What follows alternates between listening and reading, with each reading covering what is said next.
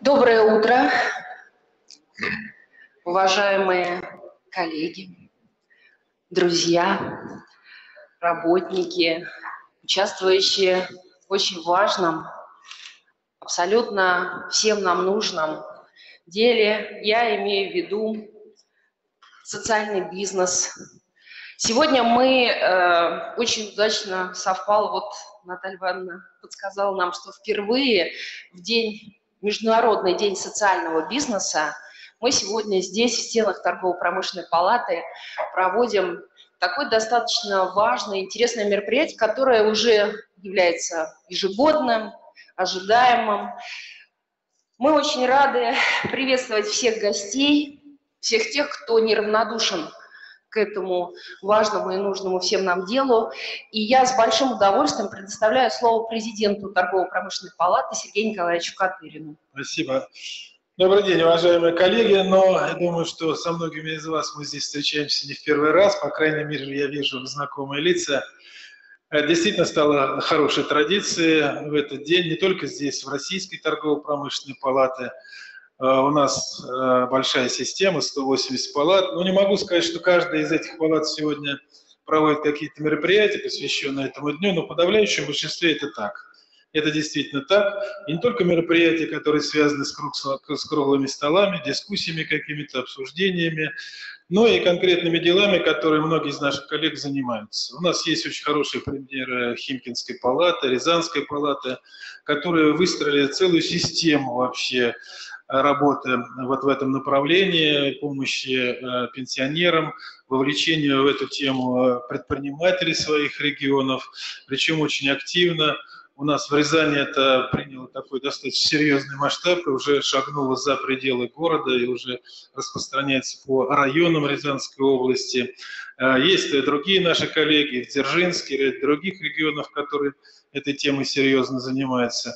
То есть это действительно приобрело такой достаточно серьезный массовый характер, и я очень рад тем, что не только сами палаты, а главное предприниматели, которые являются членами палаты, активно вовлекаются в этот процесс. Конечно, достаточно много проблем еще в этом направлении, и я думаю, сегодня разговор будет идти, в том числе о необходимости совершенствования законодательства, принятия мер на уровне правительства Российской Федерации. Сейчас разговор идет о дорожной карте, которая должна быть принята а, по развитию социального бизнеса. Полагаю, что в этом направлении государство еще не все сделало, что могло бы сделать. Но и наша с вами задача, в том числе, я полагаю, сориентировать э, депутатов Государственной Думы и правительства Э, на, те, на решение тех вопросов, которые в первую очередь необходимо решать для развития социального бизнеса. Я хочу пожелать нам всем сегодня успешной работы здесь, ну и вообще в целом успехов. Спасибо.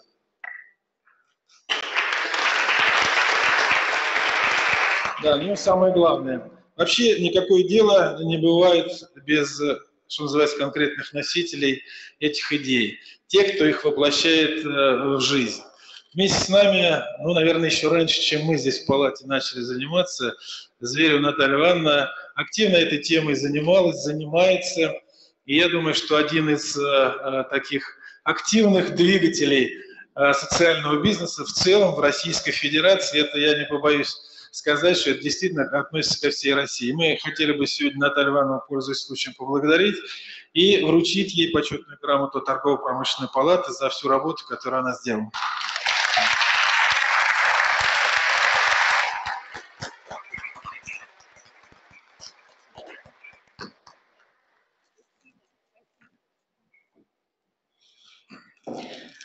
Очень радостно, когда праздник начинается уже с награждений, с цветов. Это действительно тогда праздник, и это чувствуют все. А, Еще одно важное приветственное слово. Николаева Елена Леонидовна, активный борец, представитель, в общем-то, такой достаточно яркой, неравнодушной позиции нашей Государственной Думы. Поэтому, Елена Леонидовна, с удовольствием предоставляю вам слово. Спасибо большое, дорогие друзья. Я действительно очень рада сегодня быть вместе с, вместе с вами и начать этот день с такого важного мероприятия, э, которое во многом определит э, наше ближайшее развитие, э, в частности, поддержку социального предпринимательства именно в Международный день социального бизнеса. Знаете, вспоминаю несколько лет назад, когда мы встречались с Мухаммедом Юнусом, а как раз сегодняшний день посвящен его день рождения, он лауреат Нобелевской премии 2006 года, предприниматель, социальный предприниматель из Бангладеша, который как раз и заложил основу социального предпринимательства. И меня поразила в разговоре с ним одна простая фраза. Вы знаете, любое дело нужно делать сердцем. Мы настолько уже забыли о том, что как важно вкладывать в э, нашу сегодняшнюю каждодневную работу душу и сердце, и делать это действительно искренне.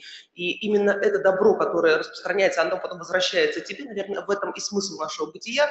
И он настолько сумел эм, сориентировать именно предпринимателей, казалось бы, людей очень Э, прагматичных, очень динамичных, которые нацелены исключительно на получение прибыли, совершенно в другую, э, в другую сторону посмотреть и э, увидеть новое развитие, увидеть новые отношения. Именно это позволило нам тогда заложить, и я очень благодарна Наталье Ивановне Зверевой, которая очень много сделала для того, чтобы именно социальное предпринимательство а, нашло достойное место а, и в нашей законотворческой работе, и а, в соответствующих поддержке правительства Российской Федерации. И, в принципе, просто стало известно, что есть такое социальное предпринимательство. И пропаганда этого направления, конечно же, очень-очень большая заслуга фонда, которым руководит Наталья Ивановна. Поэтому мы всегда очень активно сотрудничаем, я надеюсь, и будем сотрудничать дальше, поскольку именно социальное направление делает нашу жизнь человечнее, делает направление экономическое, знаете, экономика с человеческим лицом, это так важно. И мне кажется, что сегодня э, мы наконец-то стали понимать, что есть разные типы предпринимательства. Есть предпринимательство в социальной сфере. Это важно, и мы даем сейчас целый Эм, огромный пласт возможностей с изменением законодательства. Я напомню, что теперь у нас есть возможности оказывать негосударственные услуги, э, в смысле государственным предприятиям, социальным предпринимателям, э, оказывать э, услуги в рамках закона для решения государственных задач в социальной сфере.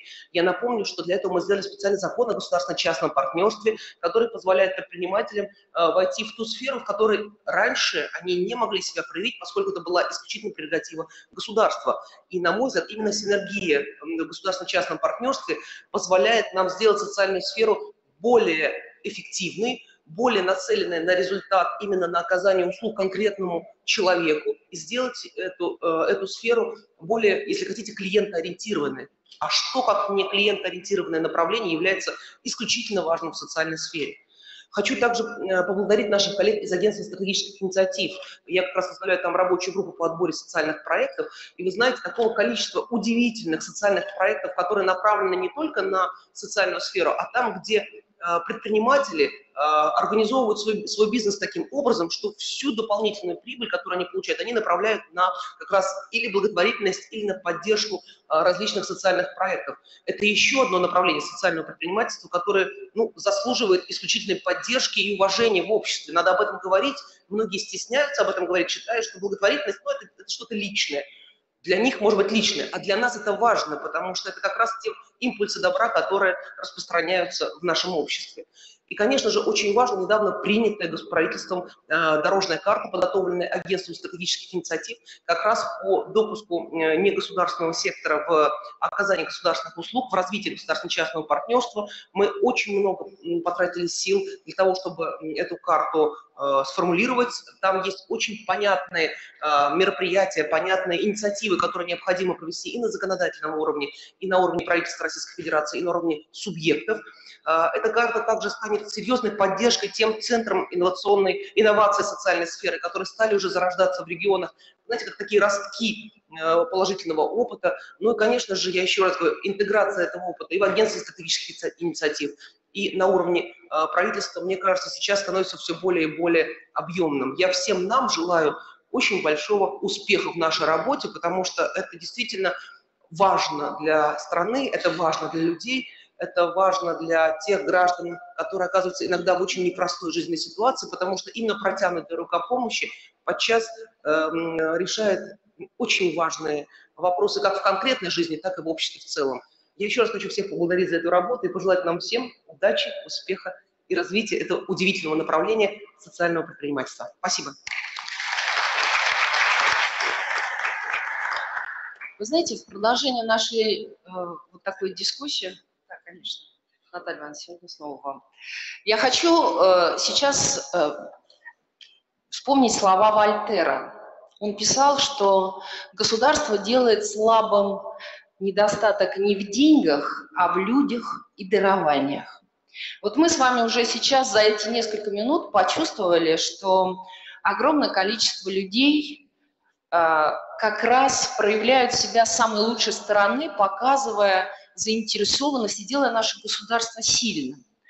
Вот Сергей Николаевич Катырин сказал, что торгово-промышленная палата во всех регионах, практически все палаты, это именно подбор сообщества неравнодушных, э, неуспокоенных людей. Нам очень приятно, что вместе с нашей палатой активно взаимодействует фонд «Наше будущее». Мы уже вспоминали и говорим о Наталье Ивановне Зверевой, которая очень много времени, сил, души отдает тому, чтобы социальное предпринимательство в стране развивалось. И я поэтому думаю, будет вполне логично, если, Наталья Ивановна, вы нам сейчас, в общем-то, озвучите, вот как вы чувствуете и проживаете сегодня такой важный праздник. Спасибо. Дорогие друзья, коллеги, рада вас приветствовать сегодня здесь, на уже ставшем традиционном круглом столе. А, спасибо Сергею Николаевичу, спасибо Торгово-промышленной палате. А, четыре года назад инициатива вот это вот пошла, да, мы первый раз провели здесь с вами круглый стол, и каждый год мы подводим итоги, что же сделано за год, да, как, какие изменения произошли, и я обычно цифры говорю, и с удовольствием сейчас тоже э, расскажу. Вот в 2013 году количество организаций, которые приняли участие в МБСБ, 12. Вот, вот с чего мы начинали. В прошлом году 80 мероприятий прошло, 74 организации в 30 регионах и охват аудитории больше 100 тысяч человек. Это мероприятия различного уровня, это форумы, круглые столы, образовательные мероприятия в виде вебинаров, это деловые встречи, завтраки. И, конечно же, а, поездки да, людей по предприятиям социальных предпринимателей, где можно увидеть непосредственно, встретиться, познакомиться с этими людьми. И сегодня здесь в зале я вижу наших социальных предпринимателей, о которых уже не только мы рассказываем, не только торгово-промышленная палата, но уже и выходят они на международный уровень, получают награды. А, вот э, недавно проходил Питерский международный экономический форум, первый раз была секция по социальному предпринимательству, э, назывался «Предпринимательство социальной сферы», в сфере как драйвер позитивных изменений. И, в общем-то, там тоже были и социальные предприниматели, и эксперты, и даже удалось пригласить э, председателя коалиции, Всемирной коалиции социальных предпринимателей Дэвида Липаша, который рассказывал о том, как это в мире происходит, о том, какое это движение, как оно набирает силу, что это уже становится такой действительно идеологией, не просто бизнесом, а бизнесом, который идет от сердца, а не только не ради зарабатывания денег. И все больше людей к этому присоединяются – вот, э, поэтому, э, отвечая на вопрос, да, коллег, я говорю о том, что эти движения в России тоже идут, мы это наблюдаем. А, те проекты, которые начинали в 2008-2009 году и называли себя социальный бизнес, социальное предпринимательство, уже сейчас а, начинают масштабироваться, тиражироваться, переходят в другие регионы, выходят на новый уровень, и все больше сфер вовлекается в эту тему. Действительно, вот уже Елена Николаевна отметила, что очень большой шаг и подвижка – это подписание, утверждение дорожной карты, в которой в том числе один из пунктов – это подготовка законопроекта о социальном предпринимательстве. Министерство экономического развития уже, мы вчера встречались с Артемом Гейшадриным, уже практически подготовила комплект необходимых э, материалов, и надеемся, что в 2016-2017 году э, уже социальное предпринимательство как определение войдет в э, законодательство федерального уровня. А, ну вот параллельно еще какие мероприятия идут. Действительно, центры инноваций социальной сферы активно вовлекают и местных предпринимателей, и НКО, сектор благотворительный в эту сферу. Регионы выделяются, вот также на Питерском форуме подводили итоги по лучшим регионам да, по, по привлекательности. Например, Ханты-Мансийский округ, который наибольшие результаты показывает по развитию социального предпринимательства, существенно повысил свой рейтинг именно благодаря развитию этого направления. Много можно говорить, наверное, у нас еще есть а, спикеры, которые сегодня нам расскажут о том, как, как государство двигается, да, как экспертное сообщество двигается, как инфра, э, инфраструктура поддержки социального предпринимательства развивается. Так что я, я хочу тогда закончить на этом и уже э, пригласить вас после окончания нашего мероприятия. У нас будет доступ к микрофону, можно будет задавать вопросы, что-то рассказывать, чтобы это было интерактивное такое мероприятие. Спасибо, дорогие, спасибо.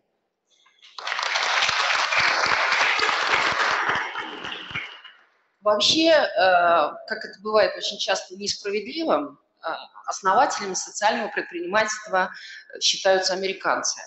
Но тут я хочу немножко, конечно же, как всегда, сказать и опровергнуть эту истину, хотя она принята в международном обиходе, что именно русские люди, наверное, все-таки это мы стояли у истоков всей этой истории, потому что еще в XIX веке э, достаточно известная история, это то, что были в Кронштадте созданы дома трудолюбия, где приходили, ночевали, жили, обслуживались, обстирывались и так далее работники за небольшой заработок, находили работу, то есть для тех людей, которые нуждались и не могли себе найти какого-то такого яркого применения в то время вообще, в принципе, э, применения в сложных жизненных обстоятельствах. Вы знаете отлично, это учат в истории э, еще в школе, что при монастырях да, всем известно, что всегда были мастерские, где иногда, в принципе, даже количество людей, которые там работали, значительно превышало весь остальной персонал и э, слушать и послушников и всех остальных, потому что они работали, производили. Это всем известные мастера, когда это было произведение там обувь, одежда, различные предметы искусства, то есть все это выходило на рынок и помогало монастырям в том числе зарабатывать себе на жизнь. То есть это было на рынке, это было востребовано, это было качественно. Я хочу сказать, что, конечно, э, мы с вами понимаем, что мы живем в непростое экономическое время, и социальное предпринимательство – это все-таки предпринимательство. И поэтому, исходя из, этого, из этих истоков, конечно, хочется понимать, какие перспективы, возможности есть у социального предпринимательства с точки зрения создания такого тренда на рынке социального обслуживания. Поэтому я с удовольствием прошу на эту тему выступить, высказаться Петренко Елену Серафимовну. Это управляющий директор фонда общественного мнения – Елена Серафимовна, так все-таки, насколько мы сейчас готовы продолжать вот те истоки и традиции, которые на Руси были всегда? Я попробую, попробую ответить на этот вопрос и еще на несколько, несколько пошире. А, значит, э, в этом году э, мы провели исследование – ну, э, значит, социального предпринимательства. То есть, э, по сути дела, это было у нас повторное исследование. Первое такое исследование мы провели в 2012 году. А в этом году мы, благодаря поддержке фонда э, «Наше будущее», мы смогли провести повторное исследование и тем самым зафиксировать, куда движутся наши социальные предприниматели, а, как они развиваются. А, по сути дела, вот команда проекта, которые участвовали в этом, она на этом слайде. И я хочу подчеркнуть особую роль, которую а, Светлана Климова сыграла в этом нашем проекте. Ну и, конечно, э, Мы его выполнили благодаря коммерческой составляющей группы компаний ФОМ, которая называется Инфом, которая провела все полевые работы. Еще хочу сказать, вот Елена Леонидовна нашла очень верное слово, сердечное – вот просто это слово, оно, по сути дела, определяет вот ну, как сказать, новации, а, движущую силу сегодняшних социальных предпринимателей.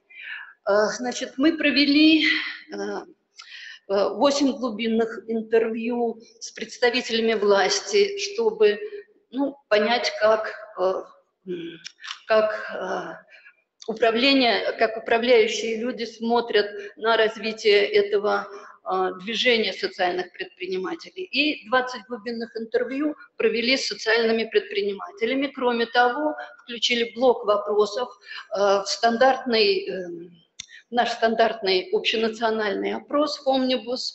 А, это полторы тысячи респондентов, э, вероятностная выборка от 18 лет и старше – в целом у участников нашего исследования, региональных и федеральных экспертов и социальных предпринимателей мы зафиксировали общее понимание а, понятия разгосударствления. Государство не уходит из социальной сферы, оно а, продолжает ее финансировать и контролировать. Сейчас я просто очень кратенько излагаю результаты нашего исследования, но я надеюсь, что мы эти результаты опубликуем более подробно и, может быть, подавляющее большинство из вас получит эту книжку, потому что мы есть некоммерческая организация, и наша как бы миссия, наша функция – это, по сути дела, распространение вот, знаний и результатов наших исследований.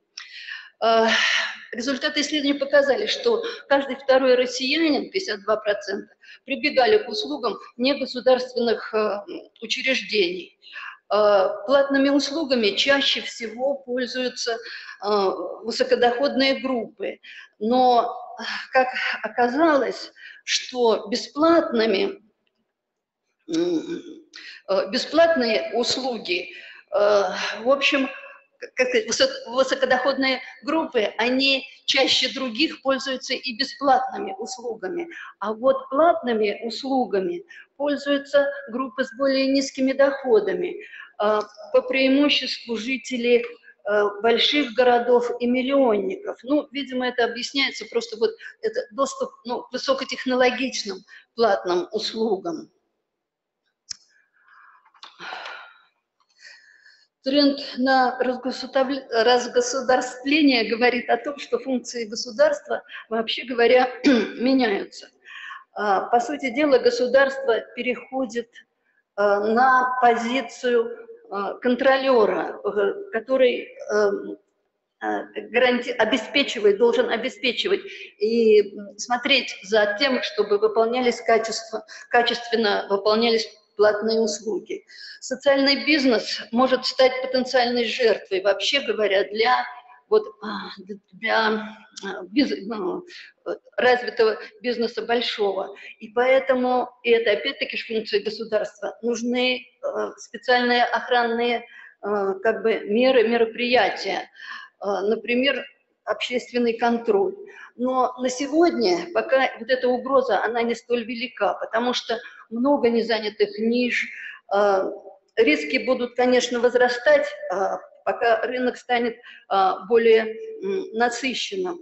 Но первые звоночки есть уже и сейчас, и эти они явно прослеживаются в тех интервью э, э, с социальными предпринимателями, которые мы проводили. Но и есть еще профессиональные риски недостаточной квалификации людей, которые заняты в социальном бизнесе. Но здесь может помочь контроль, опять-таки, со стороны государства за соблюдением профессиональных э, стандартов. Э, контроль могут осуществлять э, в общем, профессиональные страховщики и региональные общественные палаты. Кстати сказать, э, роль региональных общественных палат, вот как патрон, как, патру, ну, как патронажа социального предпринимательства в регионах я, судя по нашим результатам, будет нарастать и будет расширяться. Надо сказать, что вообще говоря, вот этот по сути дела, мы вот эти, этими двумя исследованиями, о которых я рассказываю, по сути дела, мы наблюдаем, как формируется и образуется у нас, просто становится нормальным новый социальный институт. Но тренд на разгосударствление. Э, по сути дела, мы имеем э, так, перескочила. По сути дела, а, происходящие процессы, ну, есть ряд рисков. Значит, это коммерческие барьеры и риски, профессиональные риски и несовершенство сегодняшней государственной политики в социальной, а, в социальной сфере. А, недостаточный государственный контроль качества Э, услуг негосударственных поставщиков, отсутствие контроля со стороны потребителей, недостаточно адаптированная нормативная среда. Э, по сути дела, власти должны создать ситуацию возможности выбора у населения, у потребителей, чтобы могли выбирать наиболее качественные услуги. Э, проблема может решаться с помощью ваучеров, хотя, в общем, это не всех проблем доступа к нужным услугам а, не, ваучер, конечно, не решает. И здесь роль местных властей, чтобы, особенно на тех территориях, где, ну, до которых самолетом можно только долететь, а, роль местных властей в организации в поддержке социального предпринимательства, а, она имеет, ну, просто супер большое значение. Елена Серафимовна, да, к сожалению, одна минута. Одна минута. Ну, да. значит, в заключение тогда я хочу сказать, что на сегодня статус э, социального предпринимательства, он не э, законодательно не оформлен. И, значит, э, по сути дела, решение этого вопроса, ну, оно прямо горит на повестке дня, да. еще хочу сказать, что в заключение, что главное социальное условие успеха, вот развитие социального предпринимательства. Это платежеспособный спрос, платежеспособный спрос и поддержка инициатив из регионального и местного бюджета, дружественное отношение к социальному предпринимательству, законодательство, отсутствие нормативных препятствий, созданные на принципах кооперации экономические и юридические службы, помощь в защите авторам инновационных разработок, а также популяризация социального предпринимательства, разработка программ информационной поддержки социальных проектов. Ну, большое спасибо. Спасибо большое. Вы, конечно, понимаете, что с учетом того, что люди все неравнодушные, как бы каждый вот э, чувствуется, что душой болеет, конечно, хочется выступить как бы как можно больше рассказать об этом, но мы в определенной степени э, ограничены регламентом, поэтому я заранее прошу у спикеров прощения за то, что нам приходится вот каким-то образом ограничивать вот все то, что вы сказали. Вот посмотрите, достаточно интересное исследование, да? Вот э, я вам могу сказать, что я не являюсь вот как бы глубоким профессионалом с точки зрения социального предпринимательства. Я в принципе занимаюсь как бы предпринимательством развития. Но вот у меня сразу возникает очень много вопросов. А, Прежде всего, это, конечно, позиция государства. Да?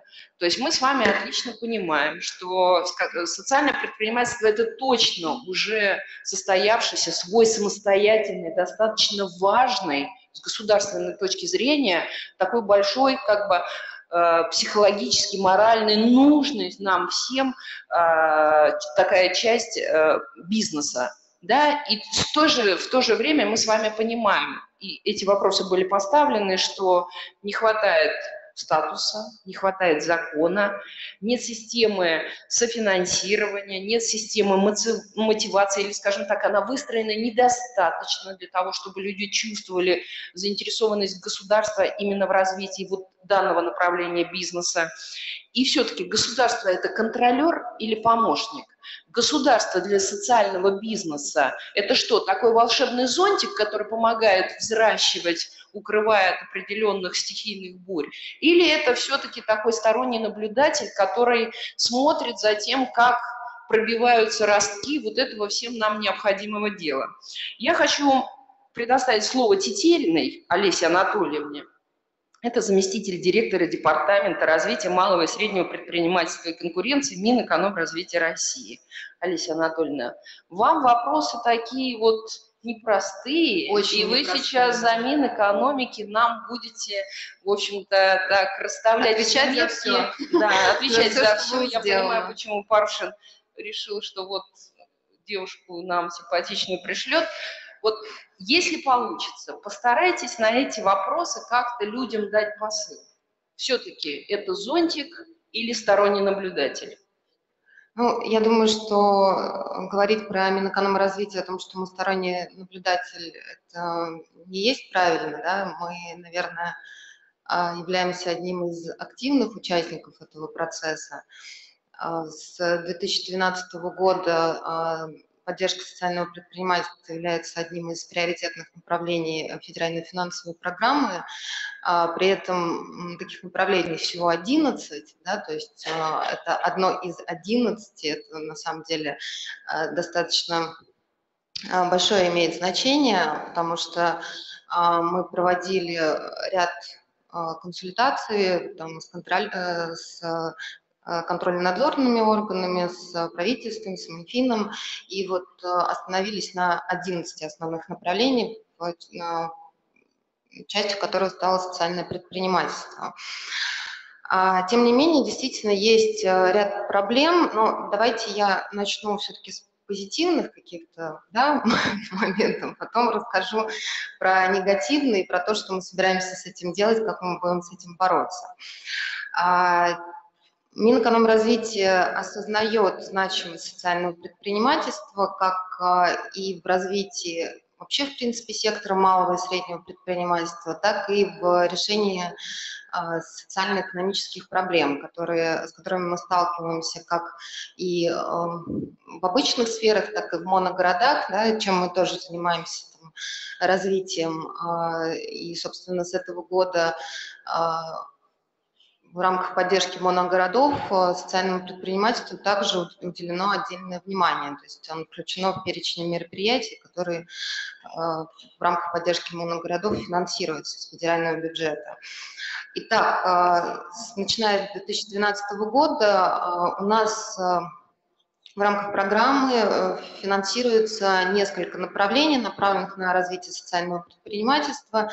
Это э, создание центров времяпрепровождения детей, это создание детских образовательных центров, а, это создание и обеспечение деятельности э, центров инноваций социальной сферы как инфраструктуры поддержки социальных предпринимателей и так называемая поддержка социально значимых видов деятельности, это трудоустройство социально незащищенных групп граждан, а, это трудоустройство молодых мам а, с детьми, это трудоустройство инвалидов.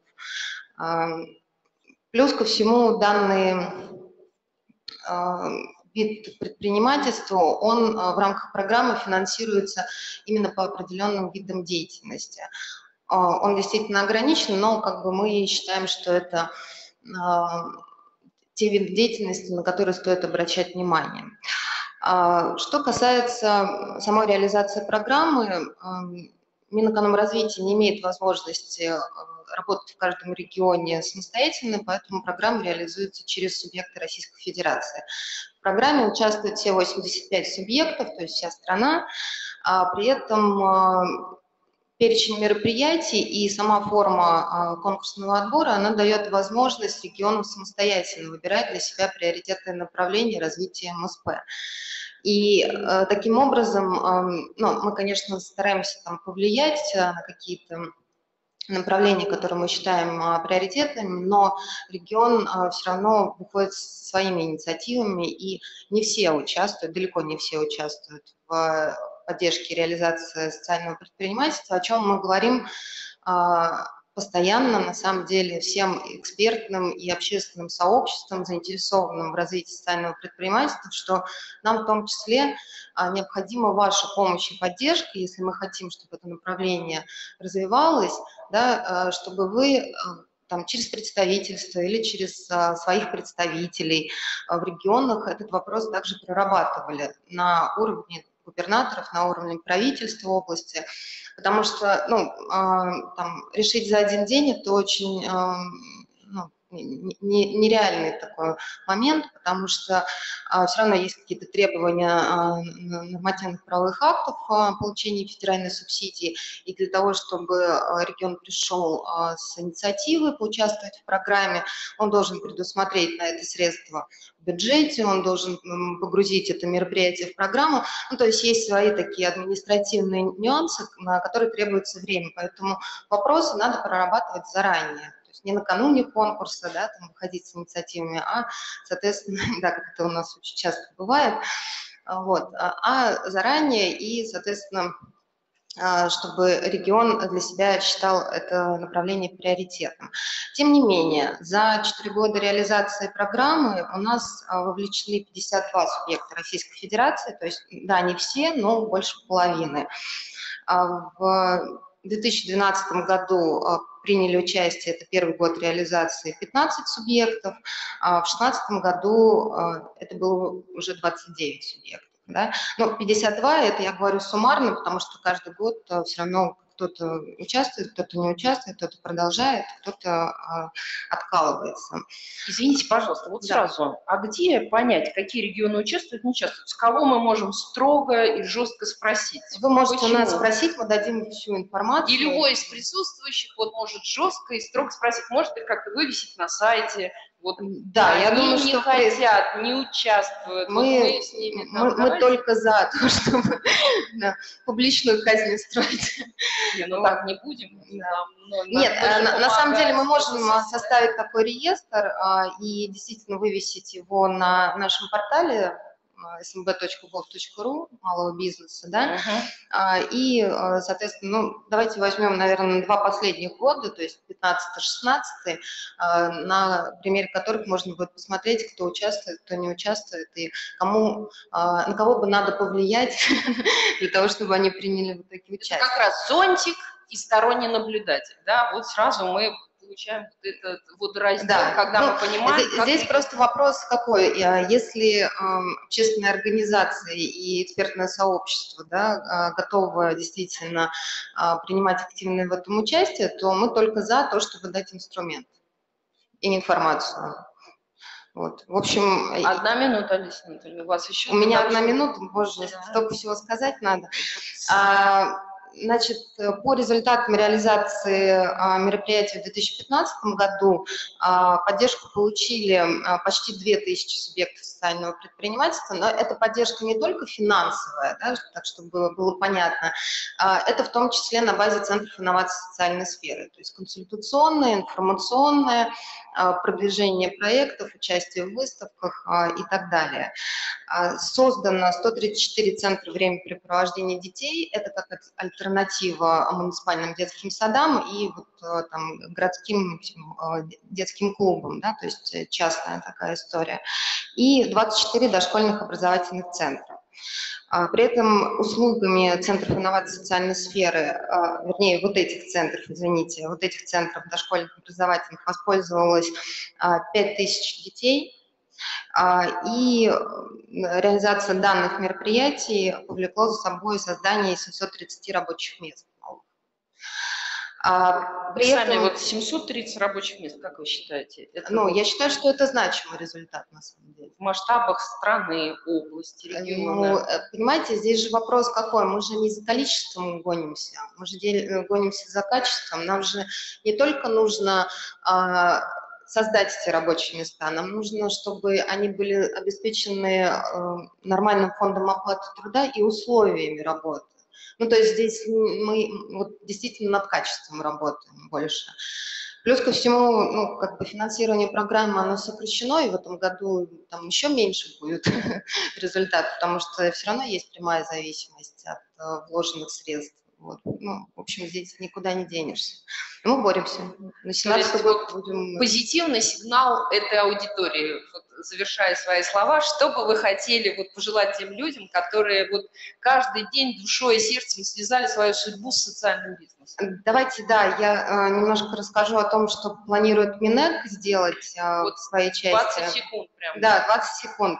А, значит, у нас принята в июне стратегия развития малого и среднего предпринимательства. В рамках стратегии одним из а, приоритетных направлений также остается развитие социального предпринимательства, его популяризация – Плюс ко всему из законодательных инициатив. Мы планируем в ближайшее время все-таки а, принять а, закон, а, ну, то есть внести изменения в 209 федеральный закон о развитии малого и среднего предпринимательства и дать определение, что же такое социальное предпринимательство, критерии отнесения к социальному предпринимательству, дальше практическое применение, как нам это видится, ну, я думаю, что уже многим известно о том, что мы создаем реестр малого и среднего предпринимательства, этим сейчас занимается Федеральная налоговая служба, Э, первая опытная эксплуатация этого реестра будет в августе уже 2016 года.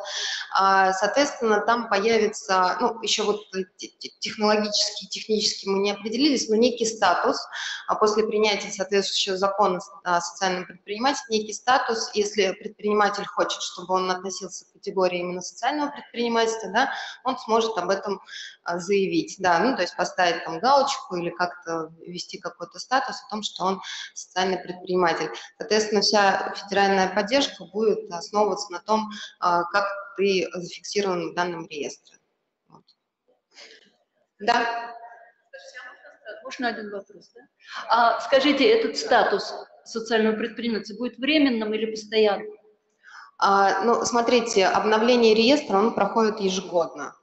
То есть ежегодно а, вам необходимо, ну, предпринимателю, вернее, необходимо будет подтвердить данный статус. Да, ну, я так немножко, вот совершенно тезисно. Вы хотели вопрос задать? Ну, э, как бы предложение, может быть, сказать. Давайте. Да, да, в контексте выступаемого у нас докладчика. Торгово-промышленная палата Московской области Комитет по социальному предпринимательству Темникова Светлана Семеновна. Вот мы говорили здесь, государство это зонтик или не зонтик, да, смотря в каких вопросах. Имея дело с предпринимателями в сфере дошкольного образования Московской области, мы выявили, Э, ну, конечно, неудовлетворенное нормативно-правовое, как бы сказать, положение здесь. Но самое главное, очень низкий уровень знаний и администрации на местах, и самих предпринимателей. И поэтому вот тут хочется сказать, что именно вот торгово-промышленные палаты могут стать теми центрами, которые в виде семинаров, желательно бесплатно, Э, проводили обучение. И вот здесь государство выступало в виде некоторого зонтика. Поверьте, я была и в ОСИ, и в Министерстве Московской области, предлагала создать некоторые проекты, некоторые кейсы, э, которые бы э, четко объясняли возможности ведения данного вида деятельности предпринимательства в Московской области. К сожалению, э, создание такого проекта не нашло поддержки. Может быть, где-то заинтересуется кто-то из присутствующих, заканчивая. Вот. Э, но это достаточно важная тема, потому что, решая различные вопросы предпринимательства, мы просто опускаем раз руки. И второе. Конечно, отношение к предпринимательству сегодня общественности лучше, чем в 90-х годах, но я бы не сказала, что оно очень хорошее. Социальное предпринимательство, на мой взгляд, кто-то может со мной поспорить, несет очень много инноваций. А если есть инновации, значит следует адаптации и образование. А если мы расширяем возможности образования, значит центры социального предпринимательства являются некими точками роста общественности России. Вот, может быть, эту идею стоит популяризировать как-то и объяснять людям. Нет, спасибо. Э, спасибо большое как бы за ваши да, вопросы, еще реплики. Да, это, это один. серьезный действительно вопрос. Вопрос образования, он вообще стоит в стране достаточно остро, да, во всех сферах и бизнеса, и предпринимательства, и всего остального. Поэтому э, это было понятно и из вашего опроса, что катастрофически не хватает знаний. Поэтому я бы все-таки хотела, чтобы понимая, что система государственной поддержки социального предпринимательства несовершенна, да, мы отдали ее в регионы, регионы не все проявляют инициативу, а предпринимателей все больше, вопросов все больше. Мы с вами отчетливо понимаем, что это тот вопрос, который будет стоять на повестке дня постоянно. Вы знаете, коллеги, мы выходим из нашего... Я, на самом деле, вот буквально а, в части обучения и информированности, то есть мы а, видим в этом а, как раз смысл создания центров инноваций социальной сферы, да, потому что сейчас их существует всего 18. При этом в реализации ну, программы, как я сказала, 52 региона. То есть не во всех регионах существует данная инфраструктура. Она как раз и занимается и обучением, и информированностью, и ведением проектов. А плюс ко всему, как бы из позитивного, 22 июня у нас в третьем чтении принято изменение в 209 ФЗ, и Центр инноваций социальной сферы приобрел официальный статус а, а, инфраструктуры поддержки малого и среднего предпринимательства. Да, то есть если раньше он только в программе фигурировал, и был там соответствующее определение. Мы услышали. Все. Центр инноваций социальной сферы. Да. Вот тот путь, который Минэкономики да. видит для решения этой проблемы. Да, причем мы готовы обсуждать мы... Э, перечень услуг, э, там, образовательные программы, все, что они делают, расширять, э, углублять, пожалуйста, любые предложения. Спасибо. Спасибо большое.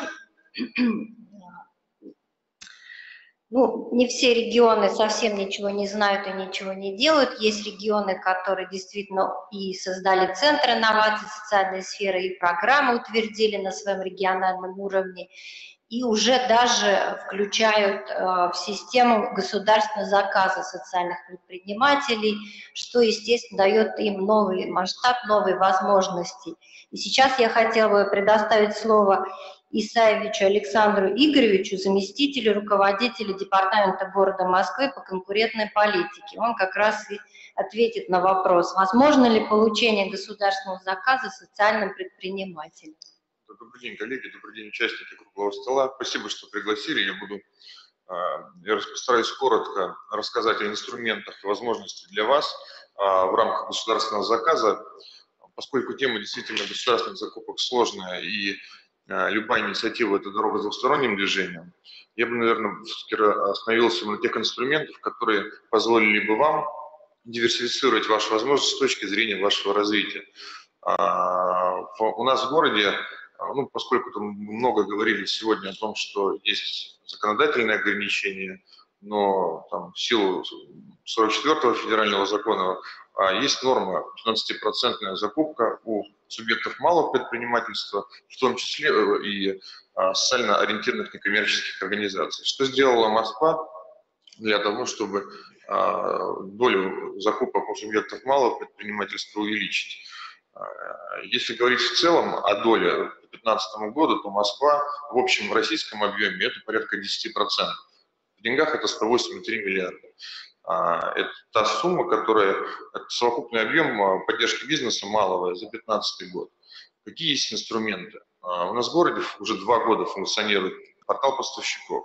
Это действительно инструмент поддержки СМП, и представители социальных предпринимателей, в частности, мы вчера специально посмотрели количество зарегистрированных а, именно а, социально ориентированных некоммерческих организаций за прошлый год. А, их у нас сейчас только на портале 57 компаний.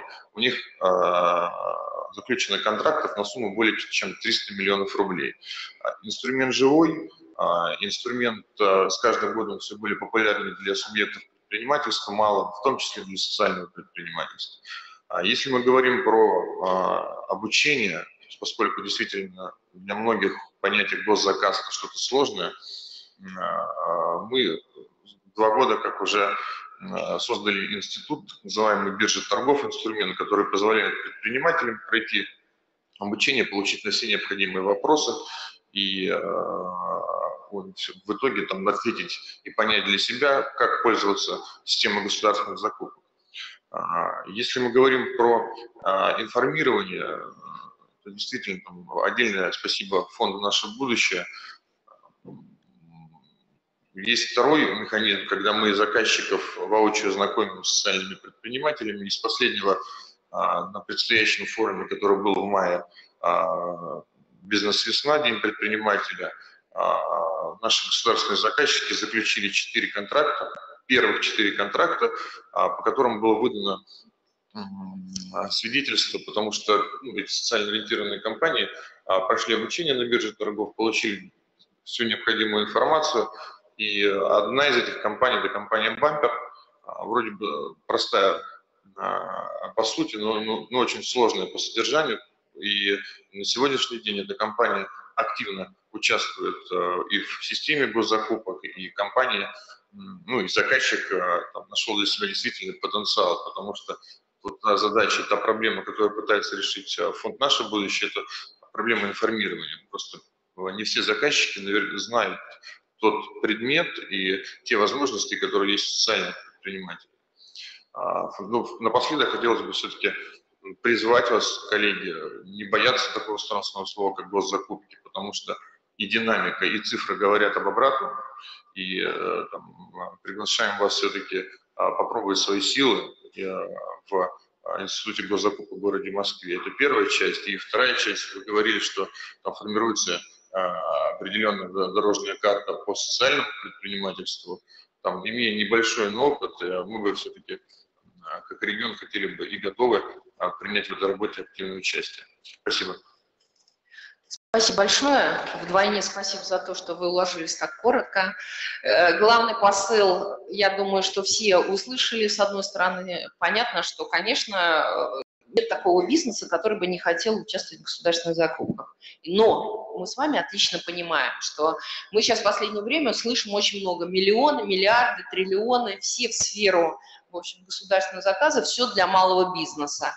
Тем не менее, когда мы у себя в торгово-промышленной палате общаемся в регионах, я вот сейчас очень много встречаюсь с предпринимателями, они совершенно отчетливо называют две проблемы. Проблема первая – это к сожалению, большая сложность оформления документации. На госзакупках меньше, на торгах по 223 закону, безусловно, абсолютно недоступная вот эта система в связи со своей крайней загруженностью. И второй, э, к сожалению, очень многие предприниматели говорят о заточенности особенно на региональном уровне, торгов под своих определенных заказчиков – Конечно, мы все вместе однозначно будем с этим бороться.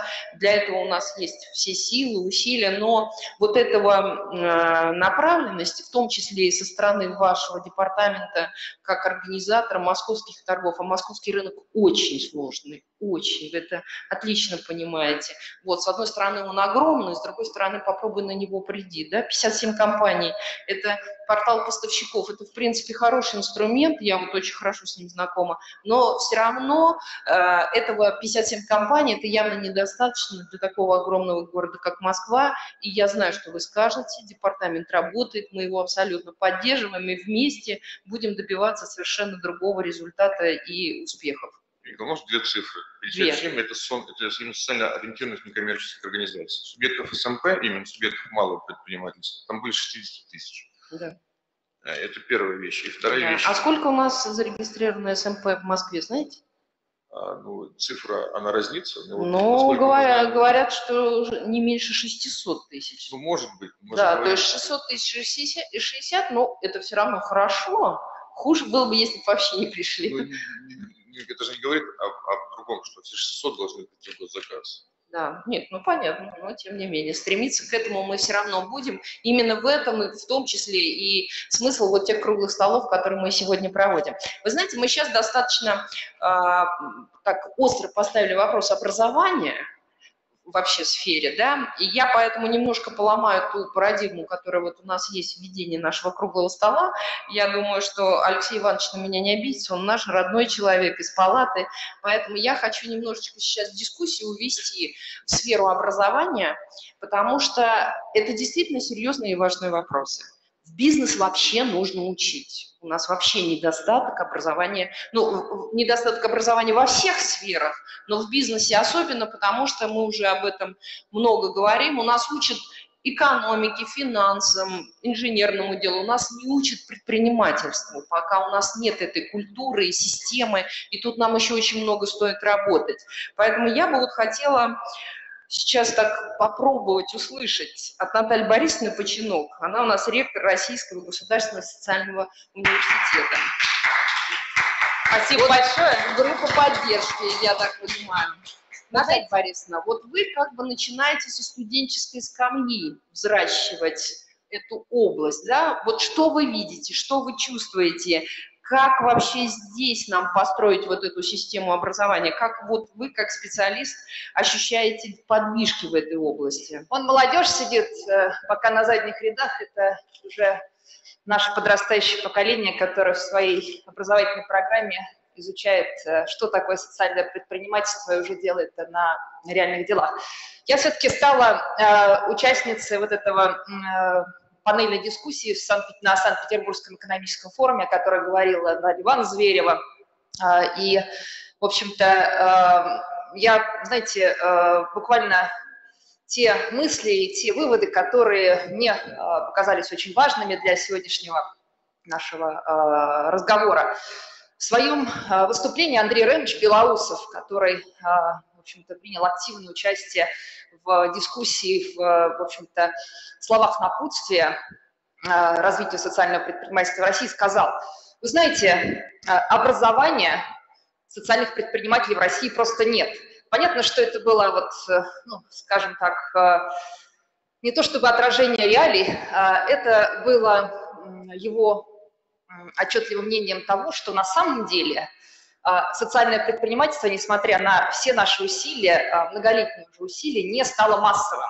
Не стало массовым с точки зрения, вот, э, ну, скажем так, прошивки этого направления во всех э, сферах деятельности. И мне еще посчастливилось, э, уважаемые коллеги, вот в днях форума очень близко пообщаться с лидером международных социальных предпринимателей, с господином Давидом Липажем. И, вы знаете, я несколько тоже очень правильных мыслей зафиксировала, хочу с вами поделиться. Он говорит, вы знаете, социальный предприниматель – это прежде всего в душе социальный работник, который имеет бизнес-компетенции, который э, реализует, э, в общем-то, то, что ему не безразлично.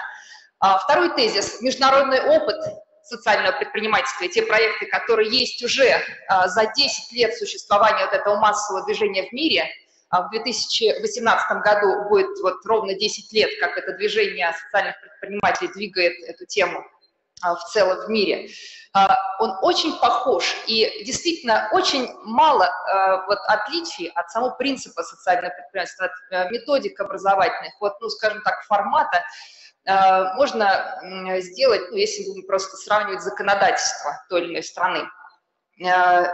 Успех развития социального предпринимательства его нельзя сделать, если не будет нормально функционировать так называемый формат общественного договора с муниципалитетами, когда, ну вот э, в нашем случае это активно работающее законодательство о, о муниципальном частном партнерстве, о общественном договоре вовлечен, вовлечения социальных предпринимателей и социально ответственного бизнеса в решение задач на уровне муниципалитета. И я очень надеюсь, что это те шаги, которые в первую очередь будет предпринимать и Э, новая Государственная Дума и исполнительная власть. И э, еще очень важный, э, важная договоренность, что в 2018 году, э, возможно, если Россия такую заявку подаст, мы можем провести в России э, форум Евразийского а, Евразийский форум социальных предпринимателей или форум социальных предпринимателей БРИКС. Это очень важно, потому что нам есть действительно что показать. А что касается образования, да, действительно, в РГСУ мы впервые первыми а, ввели такой профиль, как социальное предпринимательство при подготовке социальных работников. И, соответственно, это уже развивается и вошло в регулярную практику. Но с точки зрения массового просвещения, потому что здесь мы говорим о том, какую роль может э, э сделать образовательная организация для того, чтобы, с одной стороны, объединить усилия тех э, организаций и образования, и самих социальных предпринимателей, и фондов, которые активно участвуют и продвигают эту тему, то, конечно же, мы должны говорить о массовом просвещении – в области а, социального предпринимательства. И здесь я хотела бы сделать конкретные предложения. Ну, во-первых, а, сейчас учебно-методическая работа, которая объединяет все университеты, все образовательные учреждения специального профессионального образования, реализуется через учебно-методические советы, через вот этот уникальный диалог между различными образовательными учреждениями, куда приглашены работодатели, общественные организации, в общем-то, все то, что так скажем, вся сфера э, вокруг образования. А, и я хотела предложить, и мы это обязательно сделаем, в рамках федерального учебно-методического объединения по направлению социология и социальная работа, а там внутри вы знаете прекрасно, что находится очень важный профиль организации работы с молодежью, а, мы создадим экспертный совет или совет, а, или рабочую группу между вузами, которые, соответственно, примут участие с огромным вовлечением, в том числе работодатели, исполнительной власти и законодательной. Поэтому э, эти решения мы в ближайшее время оформим, и я крайне была бы рада, уважаемые друзья, коллеги, чтобы вот такую работу мы вместе э, делали.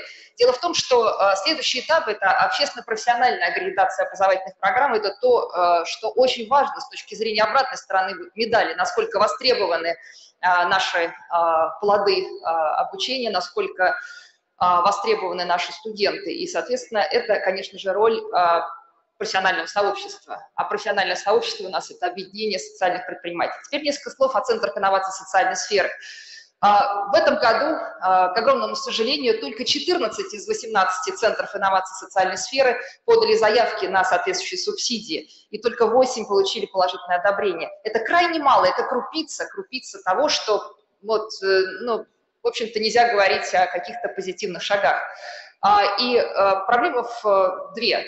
Первое, конечно, регионам надо объяснять, и я очень надеюсь, что вот формализация уже Центра инноваций социальной сферы и будущее законодательство все-таки определит и разделит все-таки социальное предпринимательство из большого важного вектора развития малого и среднего бизнеса, который ведет каждый регион. Это важно. Как только этот блок выделяется отдельно, как только получается ответственный, э, так скажем, руководитель, ответственное звено, это становится рабочим механизмом. А, очень важно, чтобы регионы развивали и увеличивали количество поставщиков. Я вчера, на прошлой неделе, прошу прощения, вернулась из Екатеринбурга. Какое количество у вас в реестре, говорю, социальных предпринимателей? Один. Один участник реестра. А, и здесь можно открыть любую область, любой регион, и приблизительно та же картина. Это крайне удивительно. Это э, говорит о том, что действительно общественное вот, просвещение, общественная популяризация не находится на том самом уровне, который должны объединить усилия всех нас. Я уверена, что в ближайшее время, в этом году, мы это обязательно сделаем. И, конечно же, нельзя э, в образовательной политике не опираться на успешные лучшие практики их обмен, их тиражирование, их э, популяризацию. Э, и, знаете, вот так называемое коробочное решение. Конечно, нельзя сделать из лучшей практики коробочное решение, но этот вектор. Делай раз, делай два, делай три. И э, конкурс «Лучший социальный проект года», который был поддержан и организован Министерством экономического развития, агентством стратегических инициатив, который подвел свои итоги в 2000 а, по итогам 2015 года в феврале. Через месяц скоро а, будет дан новый старт новому конкурсу а, «Лучший социальный проект 2016 года». И я крайне призываю, чтобы все социальные предприниматели страны активно участвовали. Именно на вас, на ваших успехах, на ваших позитивных шагах и, может быть, даже тех моментах, где вам нужно помочь, мы строим правильный вектор развития и образовательной политики, и всего движения социального предпринимательства. Спасибо. Спасибо большое, Наталья Борисовна. Ярко, зажигательно уже хочется начинать всем заниматься социальным бизнесом. Вы знаете, вы, э, если хотите, помогли мне, облегчили мою задачу, перекинув мостик вот к тому, что тиражирование лучших практик. Те, кто присутствует здесь, э, я могу сказать, что основная часть предпринимателей, конечно же, пришли сюда, чтобы послушать. Ну, во-первых, конечно же, им хорошо, что они услышали, что они занимаются важным, нужным, абсолютным делом, что мы в них верим, любим их и будем поддерживать. Это очень здорово. С другой стороны, это же предприниматели, они хотят услышать конкретные, в общем-то, какие-то такие э, точки, вот эти морковки, яблочки, которые они будут складывать в свою корзинку плодов того, что они пришли сюда не зря. Вот в этом отношении я хочу сказать, что, во-первых, я хочу, чтобы каждый из тех предпринимателей, которые здесь присутствуют, знал, что торгово-промышленная палата с, э, начала своего рода тоже социальный проект потому что совершенно бесплатно для всех э, предпринимателей страны сейчас э, есть такая информационная поддержка. Этот проект называется «Навигатор успеха». Почему я о нем хочу рассказать? Потому что с помощью этого проекта Палата э, в еженедельном режиме поддерживает всех предпринимателей страны, э, оказывая им информационное, юридическое, бухгалтерское и все остальное сопровождение. Вот если вы войдете на сайт торгово-промышленной палаты, увидите там летящего, очень красивого, такого брутального Меркурия, написано «Навигатор успеха», нажимаете вот на эту кнопочку, и там сразу увидите зеленую большую кнопку «Подписаться на проект». Вы нажмете ее, введете свой электронный адрес, что вы получите? Вы получите совершенно бесплатно, два раза в неделю. Такие, знаете, очень содержательные, важные материалы, которые будут приходить к вам, Меркурий будет вам их приносить, потому что он прилетает, и там делается все. Палата вам будет напоминать о том, что вам нужно сдать отчеты. Палата будет вам присылать формы отчетности. Палата будет рассказывать о всех изменениях в законодательстве, которые есть для бизнеса. Палата будет вам рассказывать об интересных формах поддержки государства, мерах поддержки, форма документа, как получить эту поддержку. Э, палата учит и подсказывает, какие нужно предпринять шаги, когда вы строите свой бизнес, какие необходимые документы, как отбиться от проверок, как грамотно вести себя в случае, если вам пришли контролеры. Это такая серьезная, вы знаете, сопроводительная работа. Я вам могу сказать, что у нас на сегодняшний день больше 40 тысяч уже предпринимателей, предприниматели подписались, еще ни один не отказался от этой рассылки. Почему? Потому что сжато, коротко, ярко, красиво. У нас там, в общем-то, есть уже такая рисованная мультяшная команда предпринимателей. Мы вам помогаем в этом море грести, разгребать. Мы понимаем, что у предпринимателей сейчас нет денег на то, чтобы содержать штат юристов, экономистов, бухгалтеров, что очень трудно уследить за всеми изменениями.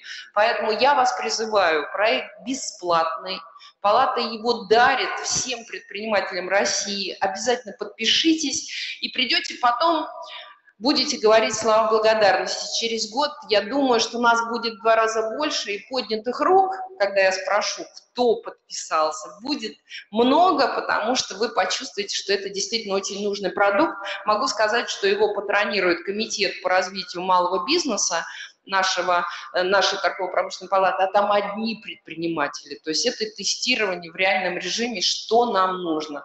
Коротко, без занудства, только самое главное. Это один хороший проект. Второй хороший проект, о котором я хочу рассказать, я знаю, что три года назад э, мы уже рассказывали здесь на круглом столе, кто, если кто-то был, то он помнит, Рязанская палата, проект «Забота». Проект по-своему действительно уникальный социальный. Я могу сказать, что я в этом году была в Рязани, сама прошла по магазинам, где действует этот проект, коротко, да, торгово-промышленная палата собрала, объединила предпринимателей в сфере торговли и производства и сказала, ребята, все хорошо, но социальным категориям населения, пенсионерам, э, мы, пожалуйста, давайте будем продавать специальные программы по специальной кит, скидке э, с карточкой «Забота».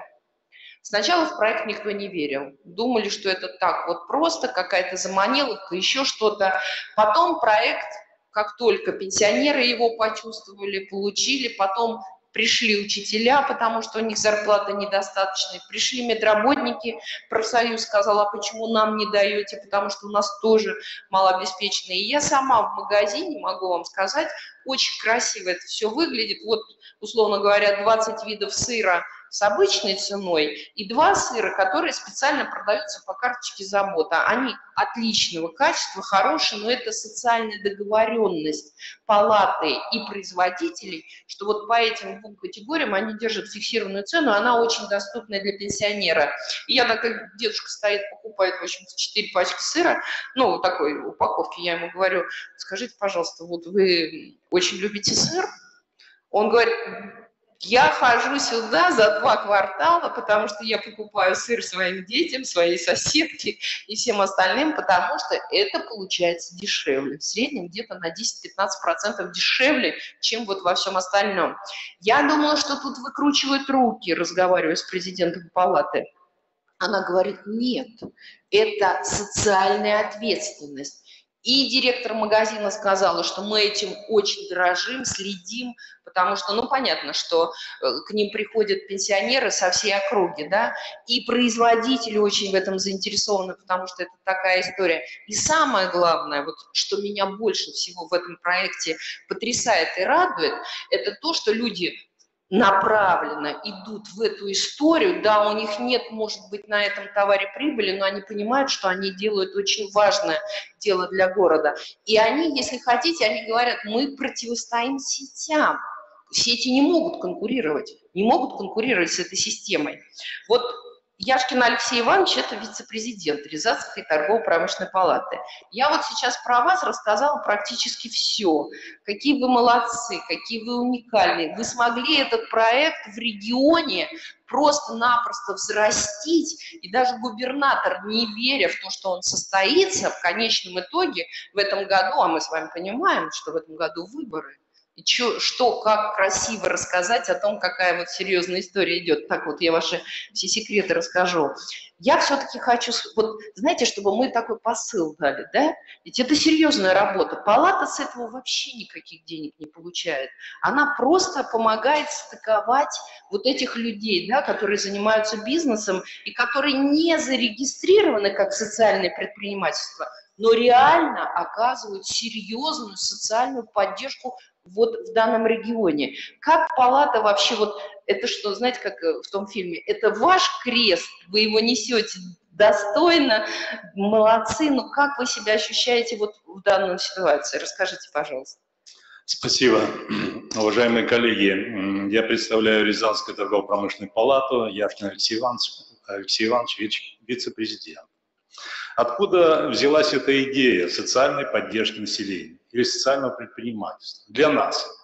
Мы ее почерпнули тоже в палате, Химкинская торгово-промышленная палата. Реализует свой проект ветеран давным-давно. И мы попробовали это реализовать в Рязани и Рязанской области. Были проблемы. Я сейчас о них говорить не буду. Но э, я признателен Российской торгово-промышленной палате, которая в марте 2013 года поддержала нашу идею и рекомендовала всем палатам России значит, э, э, тиражировать ее в своих регионах. Для нас это чрезвычайно важно, что э, на более высоком уровне этот посыл был понят, поддержан, и мы теперь уверенно состоим на ногах. Значит, как работает эта система? Значит, торгово-промышленная палата Рязани имитировала выпуск карточек программы «Забота» это пластиковые карточки. Создала свой процессинговый центр. Уговорила и э, ряд предпринимателей участвовать в этой программе. Вы скажете, а почему палата-то этим занимается? Это же такое, значит, социальная направленность. Это может быть Министерство социальной поддержки населения. Например, оно у нас есть в Рязани. Так вот, палата это взяла, э, взяла сделать потому, что есть потребность созрели предприниматели для того, чтобы и развивать свой бизнес, и видеть, в каком состоянии находится часть населения, и поддерживать это население, чтобы и как-то а, а, с благородными целями. Для этого мы их объединили. Значит, э, сначала мы работали, э, началось это в октябре 2012 года. А, сначала мы привлекли 14 магазинов для этих целей и порядка 10 поставщиков. Как функционирует программа? Мы выдали э, карточки программа «Забота» населению. Значит, человек, владелец карточки программа «Забота», приходит в магазин что-то приобрести. Значит, вези, э, на полке находится товар, который э, для широкого потребителя. Но для программы «Забота» стоит ценник. Только этот же товар продается по программе «Забота». но цена на него на 15-20% ниже. Покупатель, владелец карточки, набирает этот товар, подходит к кассе, значит, подает карточку, а, кассир считывает штрих-коды товара, значит, высвечивается на дисплее коммерческая цена товара. Затем кассир считывает штрих-код карточки программы «Забота», и высвечивается цена по карте программы «Забота». Как это технически происходит? Считывание штрих-кода карточки по интернету идет обращение а, в процессинговый центр торгово-промышленной палаты. Торгово-промышленный а, процессинг, процессинг проверяет, а, идентифицирует карточку. Значит, это наша она или не наша. И дает команду на продажу по э, сниженной цене в магазин. При этом покупатель, значит, приобретает этот товар. Значит, э, а за это время, как мы существуем, по настоящий момент э, наша, мы имитировали 240 тысяч карточек. В Рязанской области проживает миллион сто тысяч населения. Представляете, какой а, объем, а, какое количество населения мы охватили. Какие категории населения мы охватили? Это инвалиды первой, второй, третьей группы, ветераны войны, а, пожилые люди, которым за 80 лет, многодетные семьи и так далее. Всего 18 категорий пользуются этими карточками. К нам примкнули не только продовольственные магазины, но и а, продавцы товаров народного потребления, химчистки, прачечные, значит, э, парикмахерские, ателье и даже драмтеатр. Драмтеатр выдает э, билеты э, по четвергам и воскресеньям на свои спектакли из расчета, значит, два билета одному человеку. То есть кто-то может прийти э, с своим другом, семьей и э, вот э, фактически за, за 50% стоимости посетить театр. Значит, если сейчас какие-то проблемы, а, да, я, наверное, скажу, как здесь присутствуют представители бизнеса, о выгоде, который получает бизнес при этом.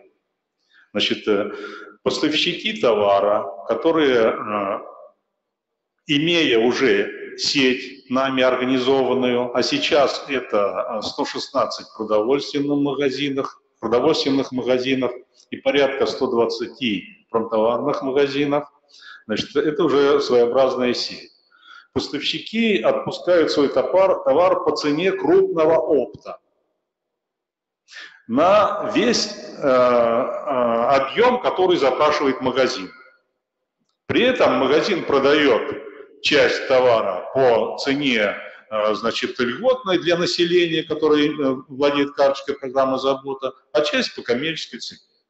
При этом, значит, насколько вы понимаете, крупные сети или крупные магазины, они, как правило, имитируют свои карточки. А мелкие предприниматели, они ну, не, не смогут это сделать. А вот за счет того, что торгово-промышленная палата их объединила и имитировала карточки, они этими, э, этими услугами тоже пользуются. Значит, при этом э, увеличивается поток населения, естественно, в магазины, при этом увеличивается э, оборот и, естественно, доходы магазина растут. При этом растут доходы и поставщиков, которые участвуют в этом процессе. Ну, например, производители молока. У них сразу увеличивается объем продаж. Они э, работают на, на, на загрузка оборудования идет на полную мощность, и в результате этого получается экономическая выгода. Потом, допустим, какое преимущество они имеют? Чтобы войти в сети, как правило, сети просят, чтобы э, поставщик платил за, арендовал полку, аренда полки, так называемая платил, значит, ретро-бонусы. В нашей системе этого нет, и, значит, это очень выгодно поставщикам. Поэтому за это держится. Я бы сказал, что эта система функционирует без какой-либо финансовой подпитки. Она создана на основе добровольного участия э, всех заинтересованных сторон. При этом все имеют определенную экономическую выгоду от этого проекта. Естественно, а, мы проводим систематически, примерно раз в месяц, а, совещания участников программы «Забота». Алексей Обсуж... Иванович, Простите. теперь самый главный позитивный сигнал в космос. Да. Люди довольны? Люди довольны. И сейчас... Предприниматели зарабатывают? Елена Николаевна, пример приведу. Давайте, только коротко. Значит, 240 тысяч пользуются программой «Забота», так. предприятий торговли 204, в том числе 116 продовольственных магазинов, 33 хозяйственных магазина, аптеки 24, магазин семян 10, магазин строительных товаров 2, одежда, обувь 13, текстиль для дома 4, сфера бытовых услуг 35, в том числе ателье 12, парикмахерские 19, химчистки 3, поставщиков продуктов питания 19. Значит, ну все, мы, Алексей Иванович, мы уже все едем в Рязань. И Потому еще, что у вас мы, Эта вот система заботы реализует товаров примерно в месяц на 50 миллионов рублей. Из них 28 миллионов – это продовольственные товары. Реально человек может получить вот по карточке программы «Забота» а, преимущество примерно в полторы тысячи рублей если вот, все купит по программе «Забор». Вот Поэтому Елена Николаевна так довольно рассказывала вам о том, что она видела в Рязани. Спасибо да. за внимание. Спасибо большое. Это пример хорошего, очень хорошего сочетания, да, с одной стороны, совершенно важного, нужного дела, которое делается для такого огромного количества людей, с другой стороны, это как раз и поддержка, и развитие предпринимательства, и поддержка и развитие производителей, потому что они тоже получают доступ. То есть вот если у нас таких примеров действительно будет больше, если мы их будем масштабировать, я думаю, что следующие наши конференции будут проходить уже в Кремлевском дворце съездов. Не будем вмещать всех желающих, Наталья Ивановна. Но сегодня уже неоднократно говорилось о том, что одним из направлений, которое должно поддерживать социальное предпринимательство и, и проблем, а, это образование. Да? Сейчас действительно нет доступных программ высшего образования по социальному предпринимательству, но все развивается. У нас подписано, наш фонд подписал около 20 соглашений с различными вузами, в том числе с федеральными университетами. И э, сейчас у нас есть лаборатория социального предпринимательства, где мы обучаем краткосрочно программу, это вебинары дистанционные, обучение прошли больше 46 тысяч человек. То есть это говорит о том, что спрос на образование по социальному предпринимательству, на качественное образование есть. И сейчас я вот хочу представить, предоставить слово Суровой Надежде Юрьевне, директору Института социального проектирования Российского экономического университета имени Плеханова. Она профессор, руководитель проектов и рабочей группы Агентства стратегических инициатив. Пожалуйста, Надежда Юрьевна.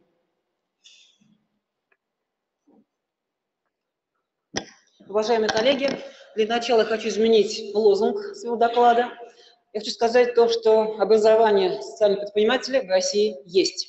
Так же, как есть и вы. Хотя, конечно, категория социальных предпринимателей законодательно пока еще не закреплено. Это не значит, что вас нет. Просто вы работаете, огромный класс социальных предпринимателей, в том числе по образовательной поддержке фонда «Наше будущее», который 9 лет создавал эту систему, и в том числе система образовательная, есть. Сегодня представляю Плеханский университет как первый экономический вуз страны, который 109 лет работает во благо России. Год назад мы создали маленькое НИИ, мы только-только начинали. Создано было при поддержке агентства стратегических инициатив. И изначально отцом-основателем выступил Александр Петрович Починок. Нас поддерживали очень серьезные наши друзья Совет Федерации. Нас поддержала Наталья Борисовна Починок, будущая заведующая нашей кафедры Михайловского университета. Нас поддержали депутаты Государственной Думы и фонд «Наше будущее».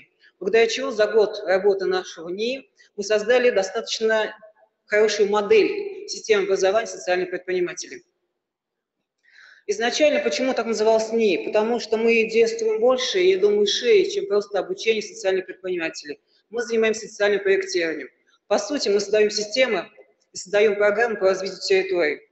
За счет того, что мы используем механизмы ГЧП, государственно-частного партнерства, создаем и поддерживаем, образовываем класс социальных предпринимателей и создаем социальную инфраструктуру. В этом году мы, наконец, запустили первый пилотный проект, это система высшего образования как бакалавриата социальных предпринимателей на направлении менеджмент, так и магистерскую программу на основе тоже менеджмента, как управленцев. Это менеджмент предпринимательской деятельности, социальное предпринимательство. Запустились мы 17 сентября 2015 года. Наталья Ивановна почтила нас в этот день, мы открыли этот курс для молодых социальных предпринимателей. Вот же спустя года у нас насчитывается свыше 300 человек, которые учатся на высшем образовании. В этом году мы запустили первый проект в России, мы сделали так называемую сетевую форму. Она очень интересная, поэтому хочу, чтобы вы послушали. 15 августа 2015 года замминистра Климов синициировал методические указания по созданию новых моделей образовательных, так называемые совместные сетевые программы, когда участвует ВУЗ совместно с каким-либо предприятием. Допустим, модель ВУЗ и организация. По этой инициативе мы создали модель ВУЗ и организации совместно с Фондом Капитана России. Капитан России – это не только образование, это еще акселерация. Первые половине дня наши ребята учатся в Плехановском университете, а после обеда они остаются здесь заниматься акселерацией. Дело в том, что благодаря нашей новости программе мы смогли привлечь деньги, это свыше 56 миллионов рублей, и обеспечить именно грантовое обучение студентов. То бишь у нас бесплатное обучение, помимо бюджетного обучения от Министерства образования. В этом году, помимо тех 300 студентов, у нас обучается, у нас есть квота на 60 человек на грантовой основе бакалавриата, это инновационное социальное предпринимательство, и 100 мест для магистратуры. Помимо того, что они нас учатся на эти специальности, они получают стипендию, обеспечиваются общежитием, и самое главное, у нас есть достаточно неплохой инвестиционный фонд под инвестиционную поддержку проекта социальных предпринимателей. В настоящий момент инвестиционный фонд составляет 420 миллионов рублей. Почему именно тема социального предпринимательства? Дело в том, что так как тоже работаю в агентстве статистических инициатив, под руководством ДМЧ Белоусова. И я понимаю, то, что слова Белоусова, они были больше направлены на то, что в настоящий момент нет единой системы подготовки социальных предпринимателей. Есть действительно большое количество курсов, десятилетний опыт работы фонда по подготовке специалистов. Есть программы ВГСУ по подготовке социальных предпринимателей, как дополнительное профессиональное образование. Есть система, выстраивается высшее образование. И в настоящий момент мы вместе с фондом «Наше будущее» зарабатываем единый обязательный стандарт и делаем методологическую базу. В настоящий момент у нас выходят статьи Скоповские в Индии, это родина Мухаммеда Юнуса. И у нас выходят статьи в Америке, который тоже как бы является наположником данного направления. И, наконец, у нас буквально на днях выходит учебник по социальному предпринимательству, как первый учебник в России. Я надеюсь, что он станет некой логической базой подготовки нас с вами как специалистов. Дело в том, что мы сегодня, я услышал очень много ценных для меня слов, и особенно от представителей Московской торгово-промышленной палаты, о том, что необходимо создание точек роста. Но я, как некий все-таки научный эксперт и научный человек, считаю, что неким таким точками роста должны выступить именно высшее учебное образование. Почему? Потому что именно высшей школе принадлежат не только объекты инфраструктуры в городах и моногородах, но дело в том, что именно вузы аккумулируют самое главное – нас с вами – сексуальную элиту России. Именно мы с вами должны быть именно теми точками роста на базе высшей школы, которые могли бы аккумулировать усилия государственной власти, органов местного самоуправления, частные и благотворительные государственные фонды и, наконец, бизнес-сообщество и некоммерческое сообщество. Именно я думаю, что с вузов надо начинать строительство так называемых кластеров развития социального предпринимательства. Потому что все мы с вами начинаем со школы. После школы мы шли в институты и создавали свои бизнесы во благо России.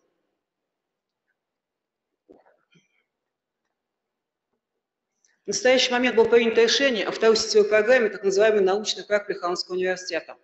У нас сейчас большая площадка, 20 тысяч метров, находится на Смольной 36. Это один из наших учебных корпусов. Сейчас вы видите в уголке уже дизайн, который мы создаем по социальным предпринимателям. Мы изначально его позиционируем именно как некий бизнес-акселератор для социальных предпринимателей.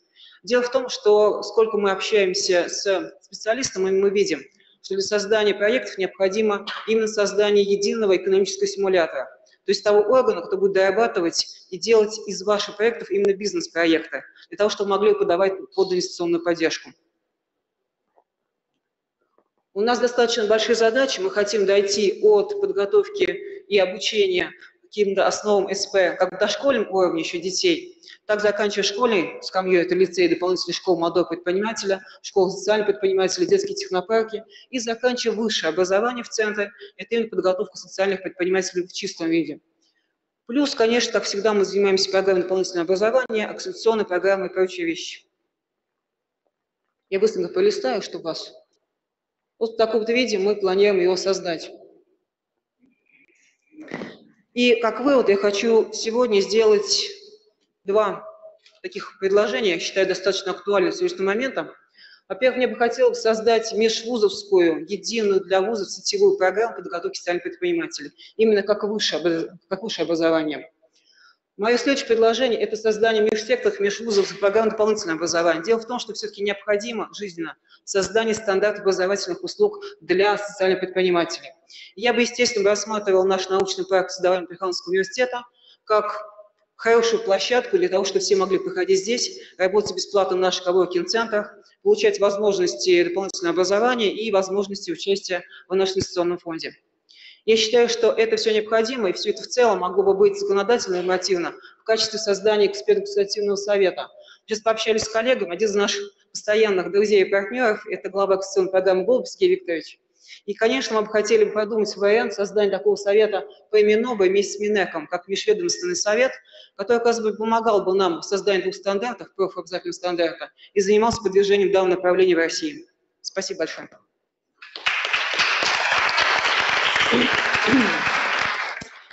Спасибо большое. Вы знаете, э, когда готовились к сегодняшнему круглому столу, вот мне в глаза попалось э, такое высказывание. Мы уже сегодня много говорили, что основателями у нас считаются американцы – и вот э, господин Билл Дрейтон, основатель компании Ашок, да, глобальной ассоциации лидеров социального предпринимательства, вот есть такое его высказывание. Я сейчас зачитаю для чего? Для того, чтобы мы почувствовали, что с одной стороны мы занимаемся вот одним общим направлением, да, с другой стороны есть все-таки разница подходов у американцев и у нас с вами к развитию вот вообще в принципе социального бизнеса. Вот позиция, а он все-таки э, лидер социального предпринимательства. Социальные предприниматели не довольствуются тем, чтобы просто дать человеку рыбы или обучить, как ее ловить. Они не успокоятся до тех пор, пока не революционизируют саму рыбную отрасль глобальный подход, глобальные задачи. Мы все-таки немножко обычно в этой области менее амбициозны. Мы все-таки работаем над душой, содержательностью, направленностью проекта. Но у нас есть организация, агентство стратегических инициатив, которая как раз занимается фактически революционными проектами в каждом направлении и пытается ломать, перестраивать, взращивать, ну, в общем, получать совсем другие парадигмы развития. Голубев Сергей Викторович, представитель данного агентства, в принципе, заявленная тема э, его выступления – это именно что нового в программе обучения социальных предпринимателей. Но я бы вас попросила все-таки осмыслить вот эту саму историю, да, с точки зрения социального предпринимательства, все-таки задачи шире, масштабнее, что ждет, куда будет двигаться, в каком направлении вообще, вот на ваш взгляд, будет происходить развитие социального предпринимательства. Я не беру сейчас мировое лидерство там американцев, а вот у нас здесь, в России, в стране, в каком направлении все те, кто сейчас сидят в этом зале и связали свою жизнь с социальным предпринимательством, как вы считаете, будут двигаться в течение ближайших десятилетий? Спасибо большое.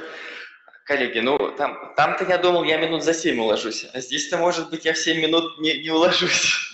Пять. Пять. Агентство Хорошо. стратегических инициатив всегда формулирует коротко, жестко, как выстрел. Пять а, минут. Коллеги, ну, во-первых, спасибо за эту фразу. Я, кстати, когда ее прочитал первый раз, я ее долго не мог понять. И только вот года два назад я ее понял, что же это такое. И а, здесь я бы мог продолжить еще фразой э, Германа Грефа, который недавно говорил, да, что в нашем стиле управления у нас подвиг. И вот нам нужно подвиг каждый день. А все-таки мы бы хотели перейти от подвига к системной ежедневной работе, и тогда мы действительно сможем обеспечить определенный прогресс. И а, вот здесь я так понимаю, что, собственно, наша ключевая задача а, в а, развитии социального предпринимательства – перейти от ситуации подвига к ситуации ежедневной, кропотливой системной работы по выстраиванию как раз той экосистемы, в которой количество социальных предпринимателей будет больше, где количество таких проектов, которые вот коллеги уже представлены, будет больше – причем это не будет восприниматься именно как подвиг и героизм, а будет восприниматься, когда это нормальная системная работа, которая необходима для того, чтобы качество наших граждан было лучше и выше. И мы в этом все заинтересованы. То есть в таком вот духе. Что здесь делается и что здесь было сделано? Э, в преддверии Петербургского экономического форума была проведена стратегическая сессия как раз направление социальные проекты Агентства стратегических инициатив. Я член экспертного совета агентства, то есть я там не работаю в этом плане, я в меньшей степени могу отвечать за них. А, на этой сессии присутствовала как раз экспертная группа, и было принято решение о том, что необходима дорожная карта по развитию социального предпринимательства. И Белоусов вот как раз на следующий день озвучил, что да, она действительно важна, нужна, и сейчас агентство формирует рабочую группу по разработке этой дорожной карты. К 1 сентября эта дорожная карта должна выйти в свет. Это при том, что у нас уже есть три дорожные карты. Одна по развитию конкуренции, и там есть блок по, социальному, э, по социальной сфере. Одна дорожная карта, которая была подписана вот недавно Дмитрием Анатольевичем Медведевым по негоссектору. И комплекс мер, подписанный Ольгой Юрьевной Голодец о 10% некоммерческих организаций. Здесь еще есть очень интересный казус – в том плане, что социальное предпринимательство – это все-таки некая философия деятельности, а не организационно-правовая форма. И поэтому мы относим к ней и некоммерческие организации. И здесь, конечно, может быть нюанс с изменением 209 федерального закона, потому что он касается только субъектов малого и среднего предпринимательства. Вопрос, что делать с некоммерческими организациями, висит. Потому что а, я в зале вижу много коллег, которые как раз у нас проходят акселерационную программу в Москве, некоммерческие организации в том числе. И, например, у них есть куча, конечно, проблем с доступом к тому же госзаказу, потому что, ну, там понятные причины. И вот в этой вот дорожной карте а, есть несколько ключевых фокусов, о которых, собственно, коллеги уже говорили, но которые еще есть смысл немножечко сказать. Первая вещь – это, конечно же, просвещение и вовлечение людей в понимание того, что такое социальное предпринимательство. И это начиная со школы, по сути, даже с детского садика. То есть это а, развитие социального проектирования как метода обучения, это вовлечение студенчества в социальное предпринимательство и через обучение, и через стажировочные программы в деятельность социальных предпринимателей некоммерческих организаций. И в этом плане уже такая работа, она ведется. А второе, вторая очень важная вещь – это система фондирования для социального бизнеса.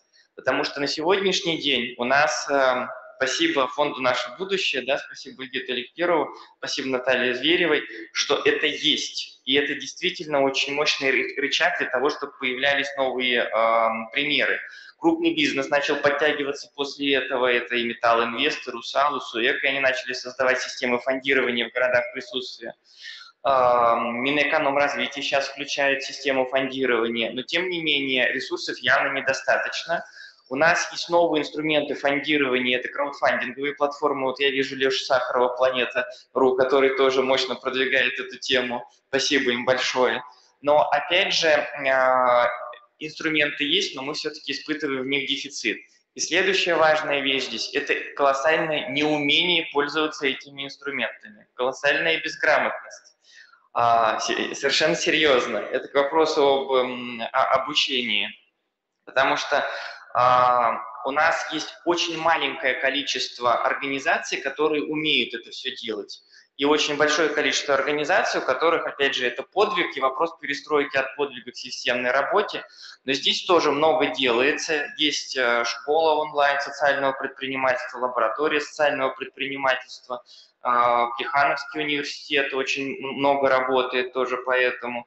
Вот. То есть эта работа идет.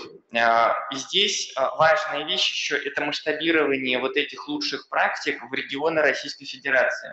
Потому что у нас иногда возникает ощущение, что вот, ну, нерв да, сконцентрирован в Москве, а, и, соответственно, иногда это не распространяется просто туда дальше. Вот даже по Московской области, если мы возьмем, мы работаем в Одинцово и в Красногорске, у нас акселерационная программа там идет, и очень по-разному себя муниципалитеты ведут, очень по-разному там выстроена вот эта экосистема. То есть здесь, конечно, колоссально разный уровень. И вопрос приведения в некое ну, единое, что ли, пространство, нормативно-правовое в том числе, оно здесь стоит, и это вызов, в котором, конечно, важно участвовать. Но, коллеги, ключевая вещь, вот, которой я бы хотел э, закончить. Инструментов достаточно много, ими важно и нужно пользоваться, о них важно и нужно знать. А, в качестве анекдота вам сейчас проиллюстрирую. Например, в моногородах есть 95 мер поддержки моногородов, 95 мер поддержки. Главы моногородов, как выяснилось, не знают о этих всех 95, а знают о трех-четырех. Но это вот продолжение, да? Поэтому здесь очень важно объединение и сотрудничество. Мы его уже наблюдаем, потому что мне очень приятно видеть за, и за этим круглым столом, да, и за, в зале очень много знакомых людей, с кем мы много работаем.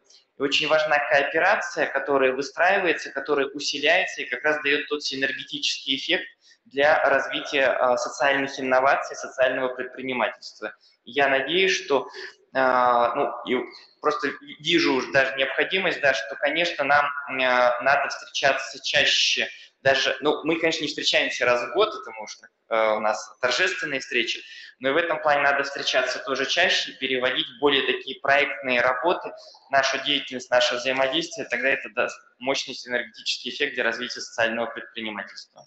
Ну, спасибо. Я. Спасибо большое. Ну, Понятно, что встречаться нужно, конечно, чаще. Вопрос только в том, что мы с вами отчетливо понимаем, да, что встречаться мы хотим для чего? Для того, чтобы получать конкретный совершенно результат, конкретное совершенно направление, тогда это будет иметь смысл. А вот с точки зрения моногородов, вот в качестве ремарки, да, вот я вам могу сказать, 95 мер поддержки. Вот если хочешь провалить дело, то создай 95 мер поддержки. Потому что никакой, даже самый адекватный и лучший э, руководитель моногорода никогда в жизни не одолеет, в общем-то, и первые 45. И а тем более предприниматели, да, которые каждый день вынуждены бегать бегом, зарабатывая себе на жизнь. Поэтому вот эта оптимизация всего этого ужаса и сведение его в одно окно, максимум в два окна, для того, чтобы тогда это, если хочешь помогать, сделай одну точку входа. Если ходишь, чтобы изображать помощь, то тогда 95 мер поддержки, и результат будет соответствующим. Но я сейчас хочу немножко все-таки перевести дискуссию еще в другую сторону, и могу вам сказать, что вот э, эксперты я же говорю, что я готовилась к сегодняшнему столу. Значит, эксперты выделили четыре признака социального предпринимательства. Социальное воздействие, то есть э, направленность бизнеса на смягчение социальных проблем. Инновационность, что очень радует. Третье – финансовая устойчивость, то есть решение социальных, бизнес, э, решение социальных проблем должно происходить за счет доходов, получаемых от собственной деятельности. И четвертое – это масштабируемость, да, возможность передать полученные навыки другим компаниям, рынкам, странам, государствам. В общем, такая масштабируемость в хорошем смысле от самого маленького к самому большому масштабу. Вот у нас есть э, советник председателя комиссии Российского союза промышленников и предпринимателей по оборонно-промышленному комплексу. Просто сумасшедшее название. Кондратьев Алексей Владимирович, который здесь присутствует. Вот мы вам обозначили и инновационность, и достаточность, масштабируемость. Вот Российский союз промышленников и предпринимателей. Огромная, серьезная организация, которая обладает мощным финансовым ресурсом и наш социальный бизнес. Как бы вот нам соединить это в одно единое целое, чтобы получить, в общем-то, нужный стране такой нужный результат? Спасибо большое. Уважаемые коллеги, во-первых, действительно огромная благодарность ТПП, огромная благодарность Фонду «Наше будущее» за этот, я не побоюсь этого слова, талантливый и очень содержательный круглый стол. А, я думаю, что информация, которая, которую мы здесь получаем, она полезна аудитории и нам, спикерам, она также очень-очень полезна. Поэтому огромное спасибо, большое удовольствие принимать в нем участие. Да, действительно, я здесь заявлен как представитель РСПП, как представитель крупного бизнеса, но одновременно я являюсь экспертом фонда «Наше будущее», поэтому я отражать буду как бы обе точки зрения. И точку зрения крупного бизнеса, и, в общем-то, профессиональной среды, инфраструктуры социального предпринимательства. Действительно, тема основная, которая была заявлена, это тема, связанная с принятием закона о социальном предпринимательстве почему а, этот закон необходим. Но на самом деле об этом говорили уже сейчас очень много. Да? Мне, а, наверное, предстоит немножко эти вещи обобщить. И на вопрос, который мне был задан, я отвечу тоже, да, о том, как, а, какая смычка может быть и взаимопонимание между вот крупным бизнесом, который, несомненно, представлен в РСПП, и, э, соответственно, бизнесом э, социальных предпринимателей, который бизнес, как правильно, средний, малый или даже микробизнес. Да, такой термин тоже есть. Вот. Во-первых, о законе. Правильно о законе говорить, конечно, в преддверии выборов в Госдуму, и все на этом останавливались, по большому счету это так и есть. Я хотел бы посмотреть на социальное предпринимательство с точки зрения и крупного бизнеса, и государства тоже, поскольку крупный бизнес у нас сейчас зачастую государственный, и, конечно, любой крупный бизнес в России имеет какие-то контакты с государством. Я также скажу о том, что вижу главным в законе, в дополнение к этому. А, Наверное, постараюсь подойти так вот аналитически, поскольку пять лет я вел колонку а, в журнале РСПП «Бизнес России». А, и эта колонка была посвящена как раз вопросам, которые нужно видеть с такой макроэкономической глобальной точки зрения. Да? Поэтому, наверное, вначале я скажу вот о чем. Что в нашей стране сейчас явно существует бизнес-тренд. То есть про бизнес-тренд, поворот лицом к бизнесу, к предпринимательству. Для меня это очевидно. Наилучшим свидетельством этого, мне кажется, было выступление президента, когда он выступил на недавнем международном экономическом форуме в Санкт-Петербурге и, а, в общем-то, напрямую очень четко об этом сказал. Было это важно и приятно слышать. Да, это поворот к бизнесу, конечно, вызван отчасти текущим кризисом, поскольку в кризис всегда цена предпринимательская инициатива, активность, это понятно, вот, но отнюдь не только. Да? А, было заседание в основной день работы Петербургского экономического форума, которое называлось «Новая экономическая реальность». И вот на нем президент как раз очень много говорил о том, как он понимает эту экономическую реальность. Вот э, мне, как в данном случае представителю РСПП, важно сказать, что, конечно, было очевидно, что понимает он ее отлично. Он видит, что эта экономическая реальность связана с изменением структуры мировой экономики в целом. То есть, в принципе, меняется мировая, структура мировой экономики. И мы находимся в процессе становления нового мирового экономического уклада. То есть задача в том, чтобы в этот уклад вписаться. Да? Для того, чтобы в него вписаться, а, нужно быть инновационными, все то, что говорил о социальном предпринимательстве, нужно быть активными, нужно быть масштабируемыми, да? нужно быть финансово устойчивыми. Это на самом деле относится и к бизнесу в целом, но к социальному предпринимательству как к бизнесу тоже очень сильно относится. Наверное, вы отметите, я здесь тоже об этом остановлюсь, а, кто помнит выступление, что Владимир Владимирович поручил даже правительству проработать меры воздействия на регионы, которые не поддерживают бизнес. Он даже, можно сказать, пригрозил губернаторам, которые не поддерживают развитие бизнеса определенными кадровыми решениями. Вот такая у нас сейчас ситуация в плане э, про бизнес-трендов в стране. Вот, мне кажется, это очень хорошо, я отношусь к этому очень искренне. Надеюсь, вы тоже. Это касается и нас, как социальных предпринимателей.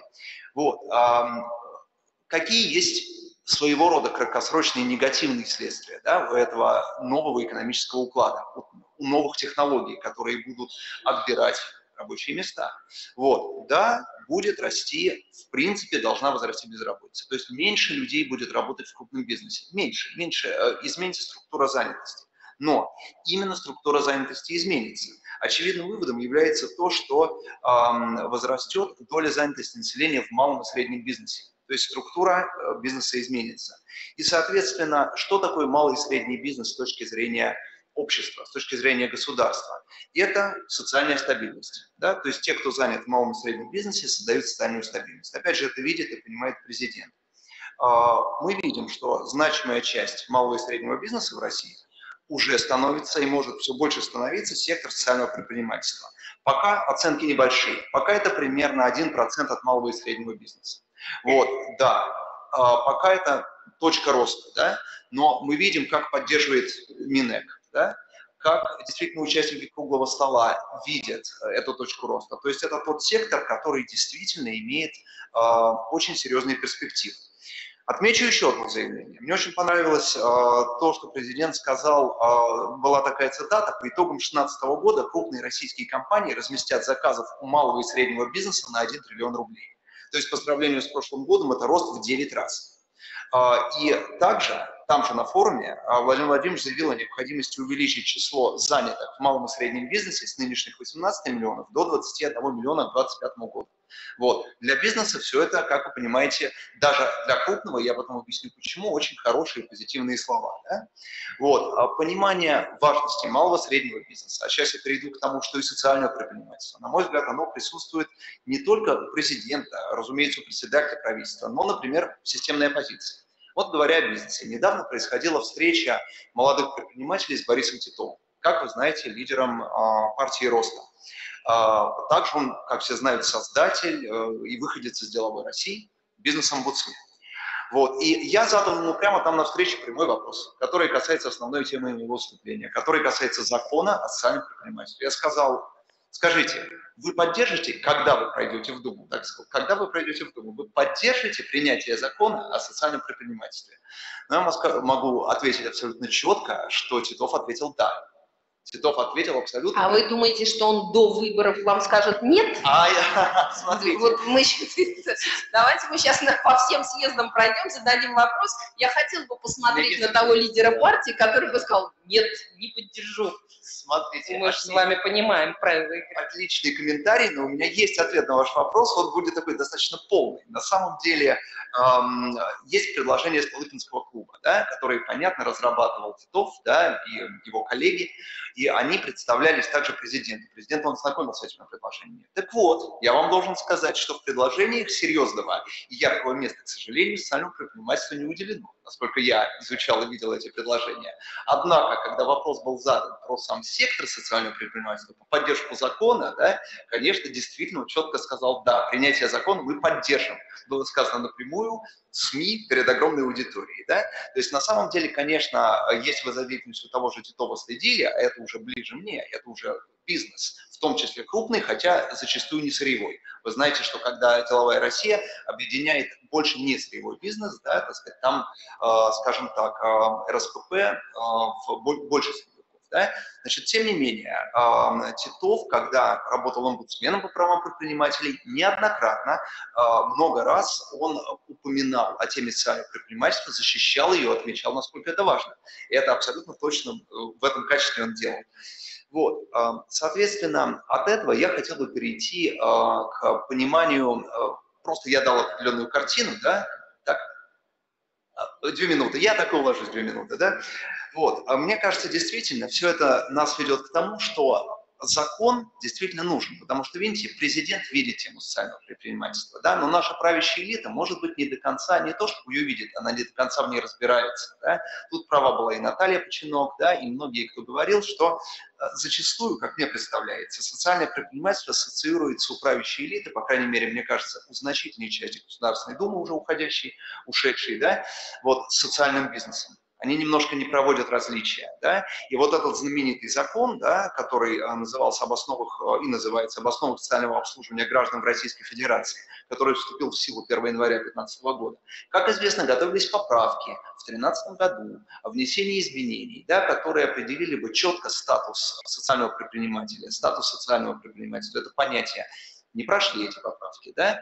Поэтому на, на самом деле теперь назревает следующее. Мне кажется, очень четко необходимо выделить э, из э, темы э, социального бизнеса, отделить э, понятие социального предпринимателя и социального предпринимательства из темы малого и среднего бизнеса, а также из темы социального бизнеса. Да, здесь много пересечений, но все мы понимаем, что социальное предпринимательство имеет отдельное определение. Да? И очень желательно – чтобы это произошло в законодательном порядке. Почему это крупному бизнесу в том числе интересно?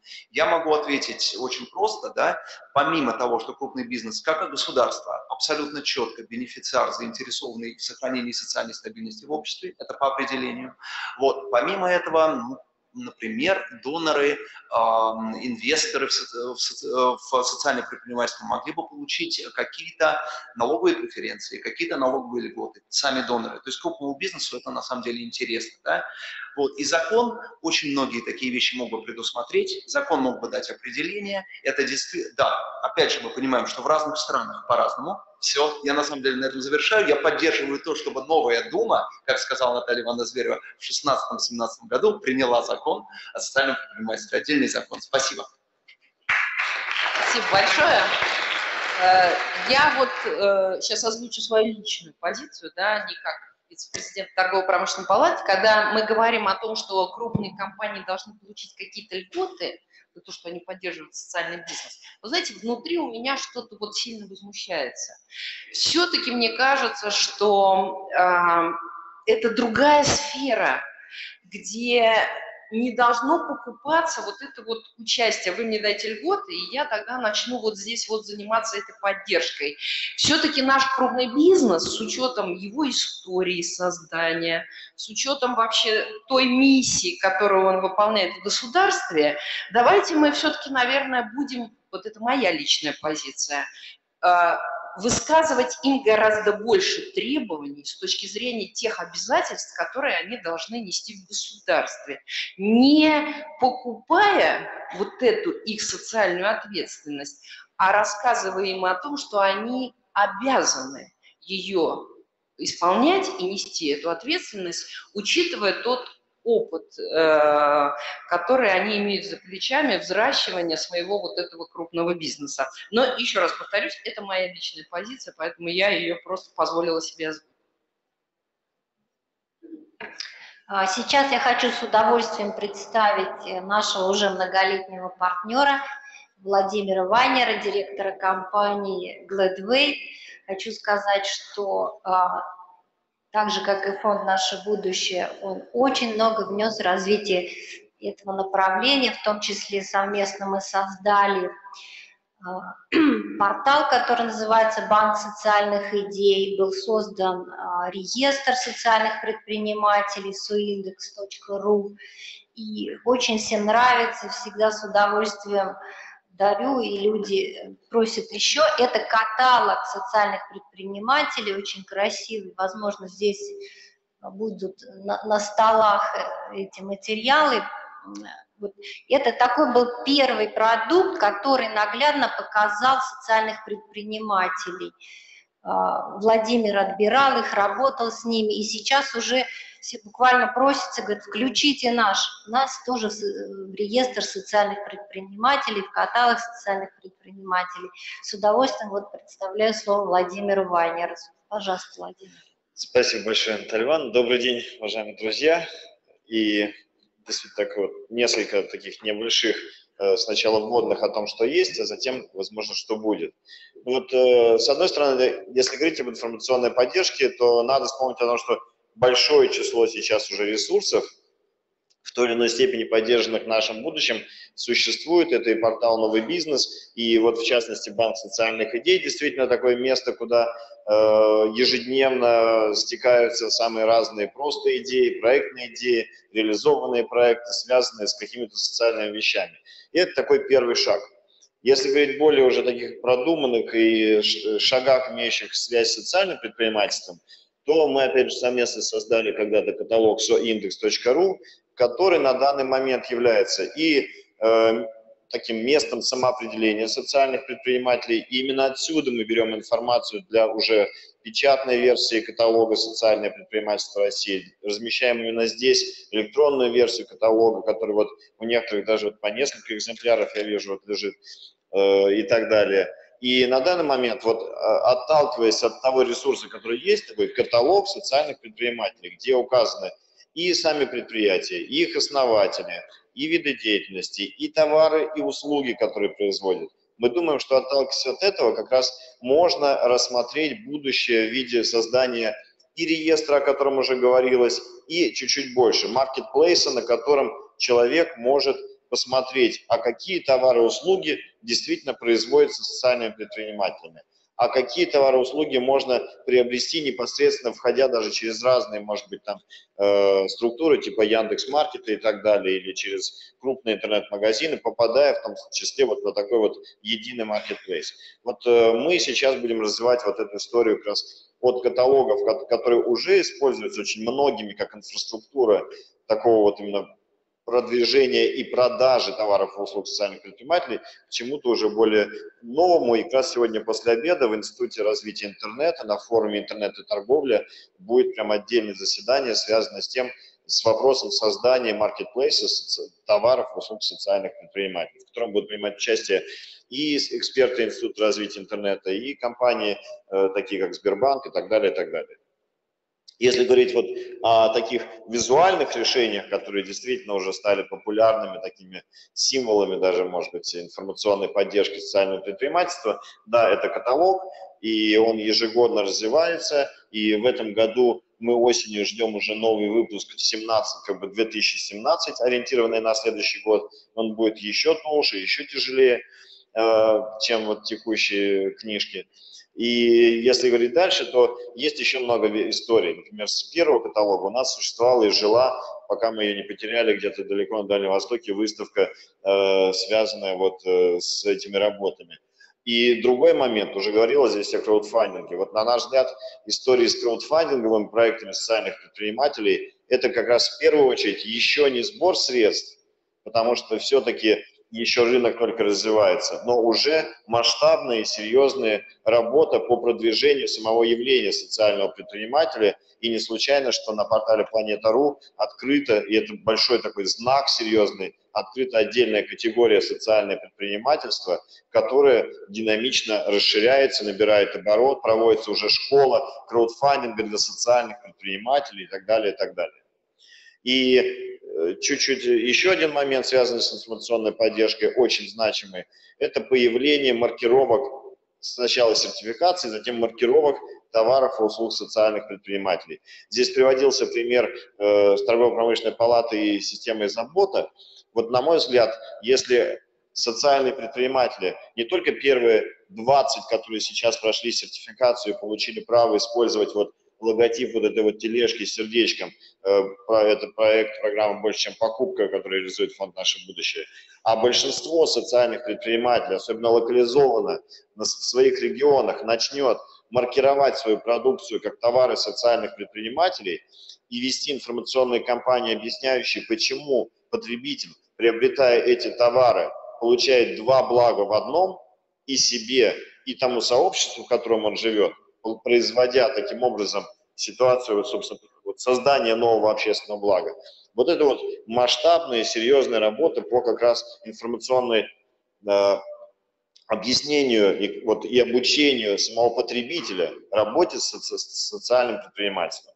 И с этой точки зрения интересно посмотреть на два документа, которые вышли в июне. С одной стороны, это распоряжение от 2 июня 2016 года за подпись представителя правительства Российской Федерации Медведева о стратегии развития малого и среднего бизнеса.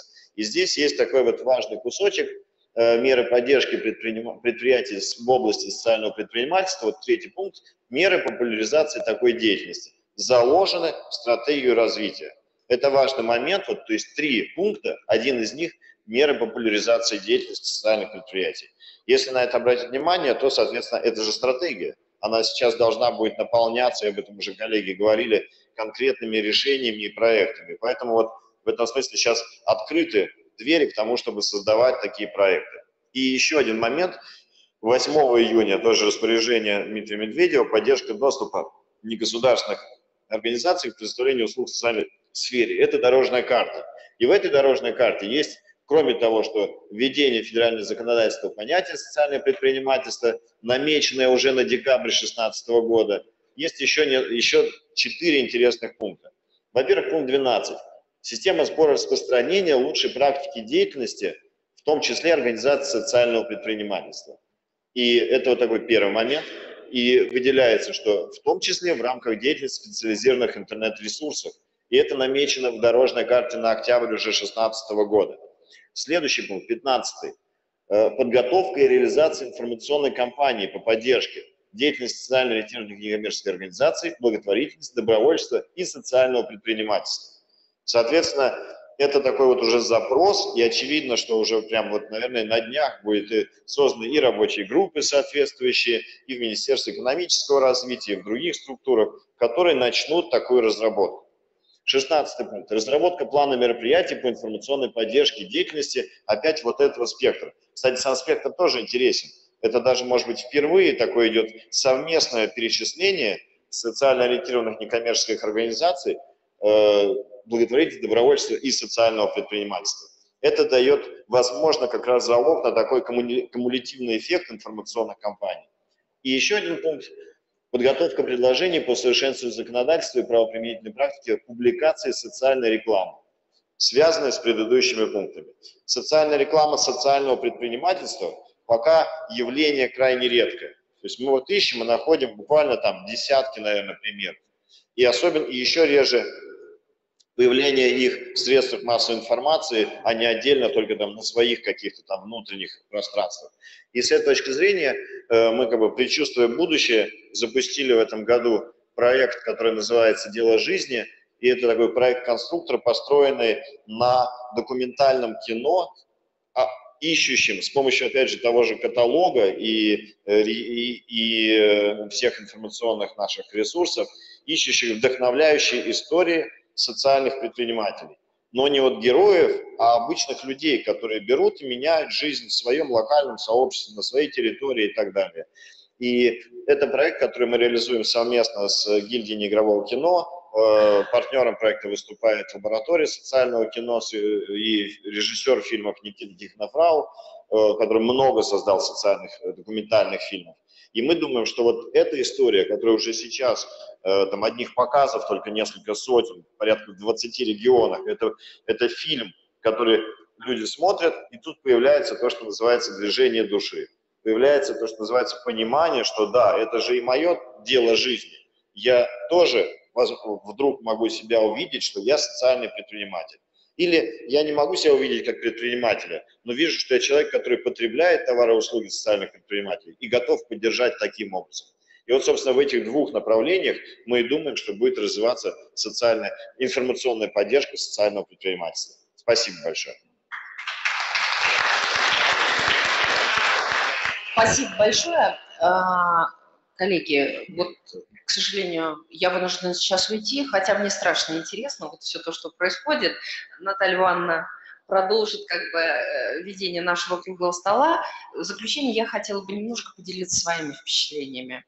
Конечно, мы с вами понимаем, что путь непростой, да, в принципе, э, как бы мы ни говорили, да, сейчас бизнес, э, власть повернулась лицом к бизнесу, но мы с вами понимаем, что вообще, в принципе, в стране заниматься бизнесом очень непросто.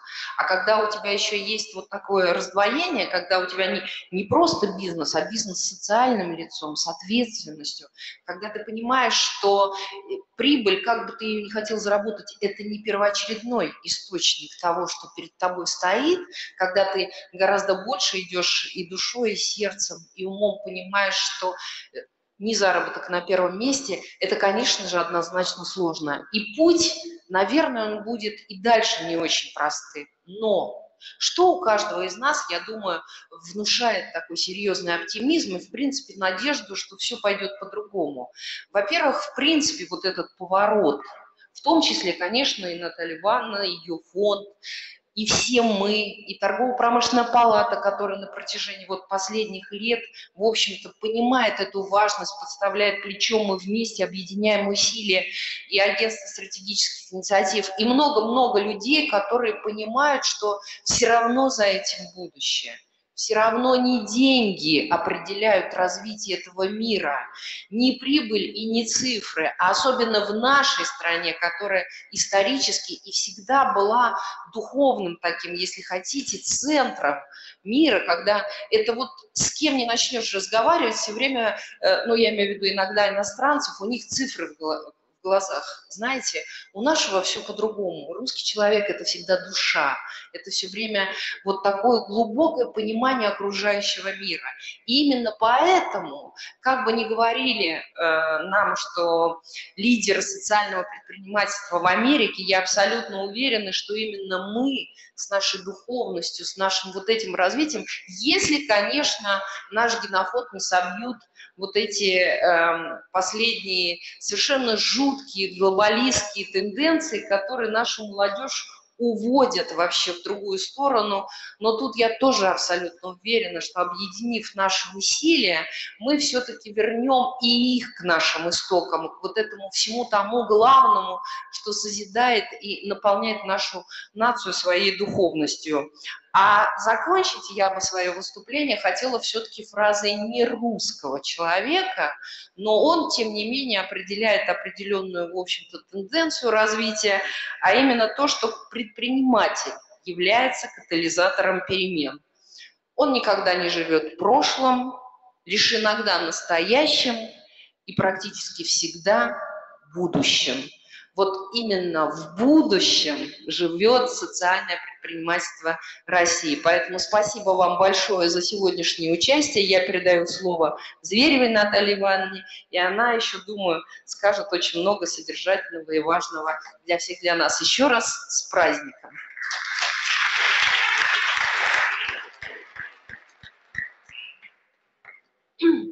Спасибо, Елена Николаевна. Наверное, сегодня действительно был самый яркий круглый стол, э, если сравнивать все эти четыре года. Э, не все спикеры разбежались, и кто-то готов ответить на ваши вопросы, может быть, кто-то хочет выступить, рассказать о своем проекте.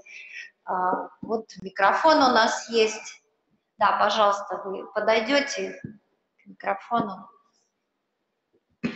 Не хватает интерактивности, многие мероприятия такие не дают Спасибо. высказаться, да. Мы, мы хотим вот немножко по-другому сделать.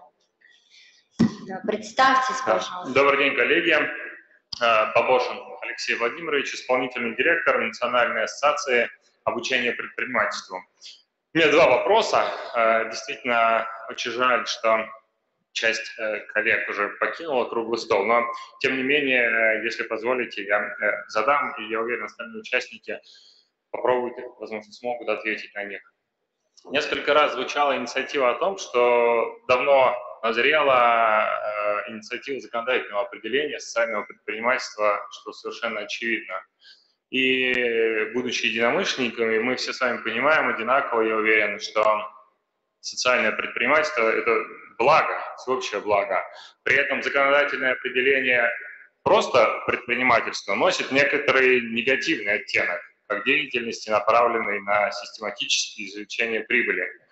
И что вот для меня, как для предпринимателя, несколько обидно и, и несправедливо, как мне кажется, потому что любую профессию можно характеризовать как деятельность по систематическому получению заработной платы. И отсюда у меня, собственно, вопрос к участникам круглого стола. Возможно, э, у инициаторов законодательного определения социального предпринимательства есть инициативы и по изменению определения самого предпринимательства? Это первый вопрос. А второй вопрос связан с э, массовым образованием э, в области предпринимательства и социального предпринимательства в том числе. Э, на наш взгляд, основной сдерживающей силой для того, чтобы предпринимательство, а, а, образование предпринимательское образование, скажем так, и образование социальному, обучение социальному предпринимательству стало массовым, является отсутствие образовательного стандарта и профессионального стандарта. И э, здесь отрадно, что звучали уже э, упоминания об этом, в том числе косвенное упоминание о том, что э, профиль социального предпринимательства приходится делать на базе стандарта по менеджменту. И мне хотелось бы сказать и задать потом вопрос, если позволите. Вот в нашей ассоциации уже разработан проект стандарта образовательного и профессионального стандарта. И более того, а, не просто стандарт по предпринимательству, а с выделенным профилем по социальному предпринимательству. И работа эта проходила при поддержке фонда «Наше будущее», за что огромное вам спасибо, и без вашей инициативы и поддержки это было бы невозможно.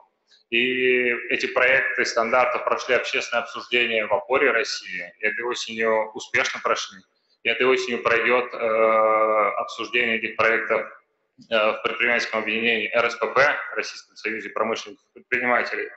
И отсюда у меня возникает э, к участникам круглого стола вопрос. Э, для того, чтобы обществом и э, органами власти идея об образовательном стандарте и профессиональном стандарте была принята, необходимо, чтобы была э, принята идея о том, что предпринимательская деятельность и деятельность социального предпринимателя является профессиональной, то есть профессией. Это не призвание. Возможно, врач – это тоже призвание, но это не мешает быть, существовать профессии врач. И вопрос у меня в следующем. Как вы считаете, согласны ли вы с идеей о том, что предприниматель и социальный предприниматель – это не только призвание, но и профессия? И, знаете, вот в дополнение, учитывая, что у нас такая дружеская э, обстановка здесь, мне бы хотелось, чтобы вы ответили на этот вопрос не просто с формальной точки зрения, с точки зрения эм, законодательной, а знаете как, вот э, у меня есть дети, и они у меня спрашивают, папа, а кем ты работаешь? Я им говорю, предпринимателем.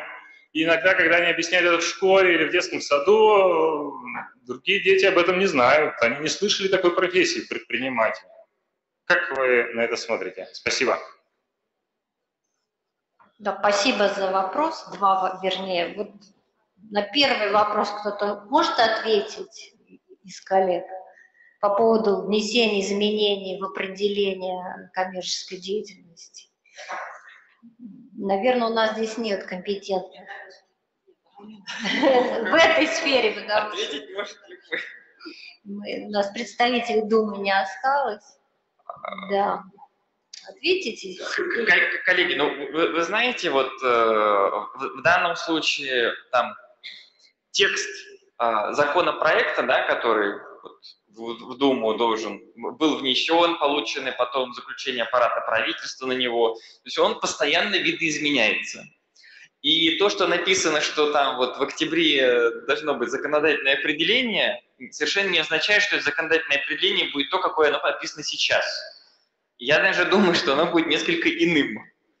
Вот. Но с точки зрения философии, вы знаете, я вот, эм, недавно попался на глаза книжка про бирюзовые организации – вот. А это, по сути, на мой взгляд, очень близка к философии социального предпринимательства. Это как раз организация, для которой не является цель максимизация прибыли, которой является цель там, максимизации некого там, общественного блага. Но при этом она понимает, что она должна зарабатывать деньги, потому что ее бизнес-модель как раз, чем больше бизнес-модели активнее, тем больше это общественное благо, там, которое она генерирует. Вот. И вот читать еще не читал, там выдержки посмотрел, но вроде так довольно близко. Но я к тому, что социальное предпринимательство, оно по сути тогда идет не только на вот там а, узкий сегмент рынка, да, на тот бизнес, который есть, но оно как философия начинает распространяться и на другие бизнесы. Поэтому с точки зрения того, что будет прописано, не знаю. Вот. Можно я? На самом деле, я тоже хочу добавить коллегов, я хочу призвать всех к созданию совместных программ, абсолютно, да, я, более того, рекомендовала бы нашим коллегам продумать варианты создания совместных базовых кафедр от организации самих предпринимателей. По поводу закона хочу добавить то, что сейчас действительно изъятый закон будет вторичный осмотр. Мы говорим не только о социальном предпринимательстве, мы говорим о негосударственном секторе в социальной сфере. То бишь мы учитываем как формы коммерческие, так и некоммерческие, именно такие изменения будут внесены. Сейчас мы ждем этих изменений. Ну а в целом по поводу того, профессия ли это или стиль жизни, на самом деле, конечно, логически это стиль жизни, мы это понимаем, да, но законодательно, да, мотивно, да, это профессия. И да, я думаю, что эта профессия должна быть именно на основе стандарта образовательного, сокреплена именно с менеджментом, как управление процессами. То, что мы готовим, по сути, управленцев социального бизнеса. Но я еще хочу призвать всех коллег принять участие и войти в советы по созданию обсуждения профстандартов, стандартов образовательных и создание и экспертизы тех программ которые мы уже создали для вас. Спасибо. Я хотела вот Наталье Никитиной дать слово. Это социальный предприниматель из города Коломны, Коломенская пастила. Может быть, Наталья ответит нам на вопрос, это профессия или это что? Ну, когда меня спрашивают, да, здравствуйте, поздоровалась. А, как вы столько много работаете. Я говорю, «Ну, мы не работаем, мы так живем, это наша жизнь. А, вот часто очень задают вопрос такой. И мы действительно довольно быстрыми темпами развиваем свою территорию. И миссия организации, которую возглавляю, а, это сохранение и развитие исторической части города Коломны. И сегодня несколько раз затрагивали тему образования и определения, что такое социальный администратор, социальный предприниматель, простите. А, я хочу поблагодарить фонд «Наше будущее» а, агентство стратегических инициатив за подарок, который был сделан а, полгода назад. Я была награждена поездкой на, в Берлин на саммит международный социальных предпринимателей. И там я получила очень много ответов на свои вопросы.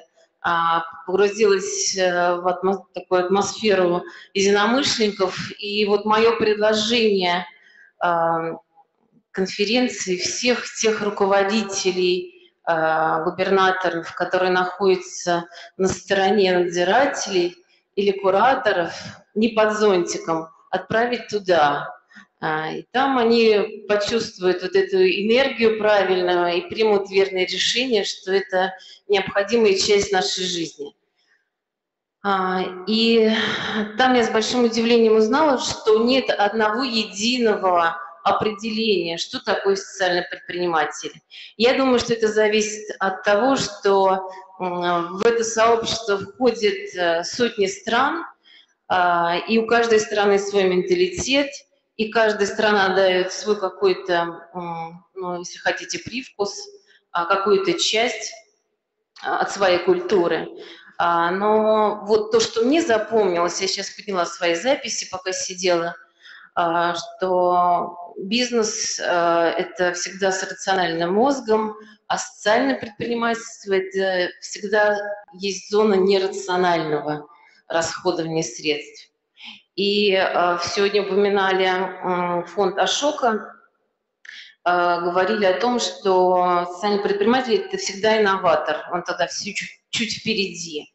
И э, так как я работаю в сфере культуры, соци социокультурное проектирование, вот проект, как переводится, как брошенный вперед, вот эти люди, которые немного впереди э, стратегируют э, вот включают в себя вот и инновации, и заботу о территории проживания. Так случилось, что Коломну э, полюбили много институций, министерств, ведомств, потому что мы именно как такие, ну, может быть, сейчас слишком пафосно скажу, инноваторы в своей работе объединяем, работаем на грани, на стике разных направлений. Это работа и с наследием, и с историческими территориями в городах, а, что большая проблема сейчас, потому что исторические города а, в эпоху глобализации становятся такими ну, безликими в какой-то мере.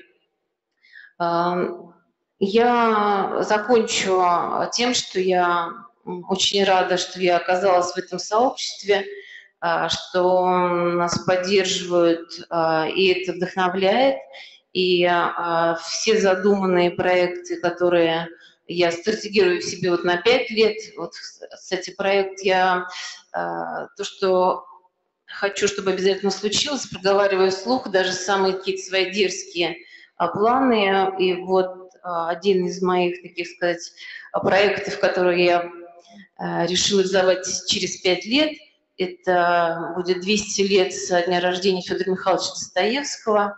Рядом с нами а, в 60 километров от Коломны находится его усадьба, где он провел свое детство. Сад утрачен.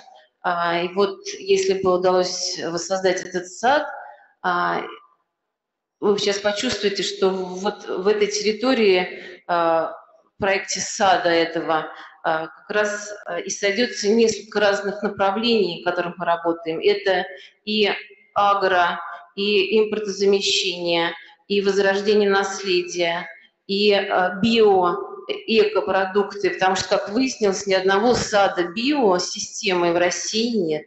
Ну, он что-то поправит, может, кто-то знает, что есть такой. Ну вот я уже, так сказать, мечту свою проговорила. Я думаю, что теперь обязательно случится. И всем советую не бояться этого говорить об этом вслух. Спасибо.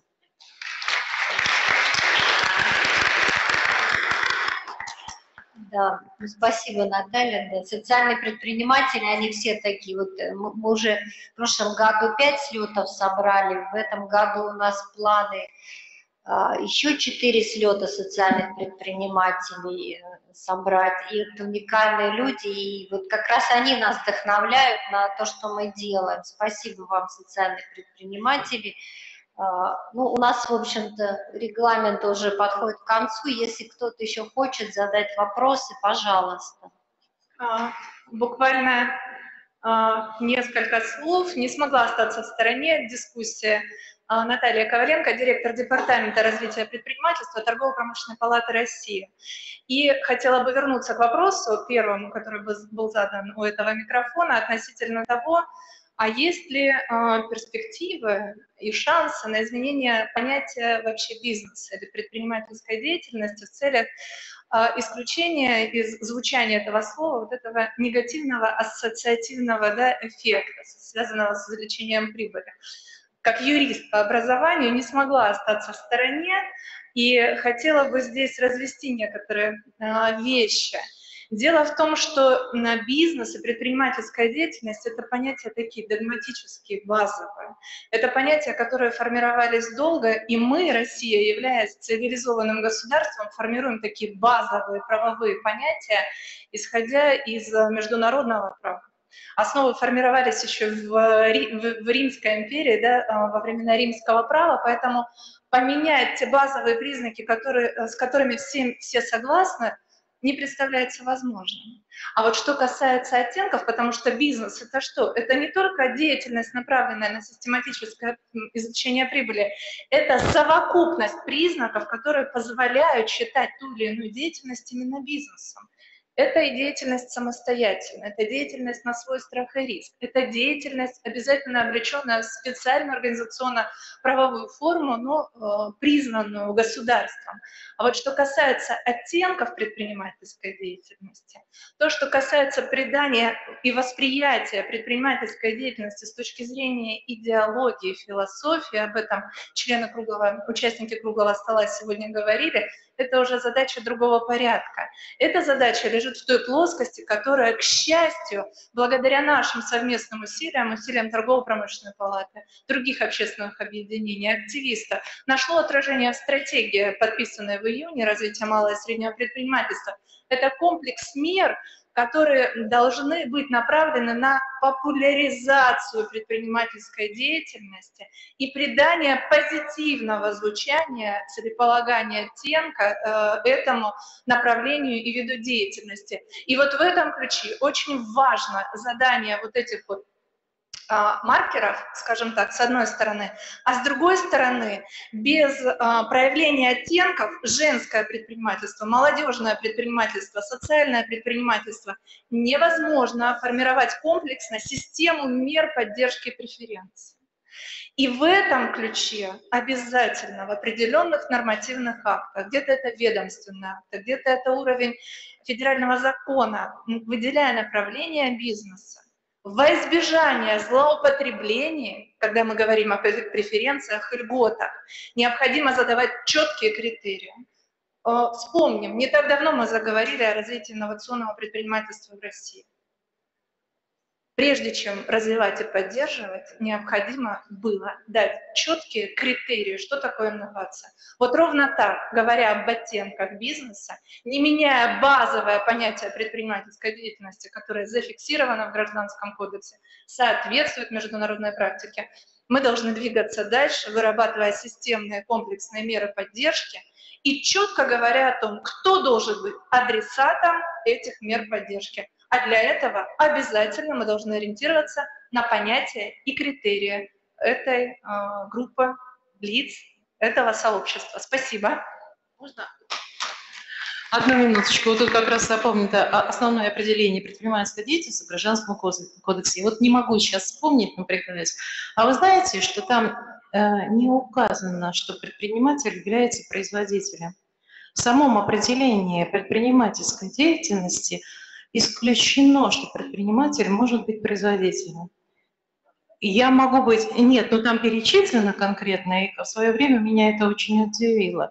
И вот мы говорим, что законы неизменны. Может быть, время идет, и, может быть, мы можем вот в данном случае устранить. А если в России предприниматель не производитель, о котором мы сейчас говорим, это основа основ, ну, извините.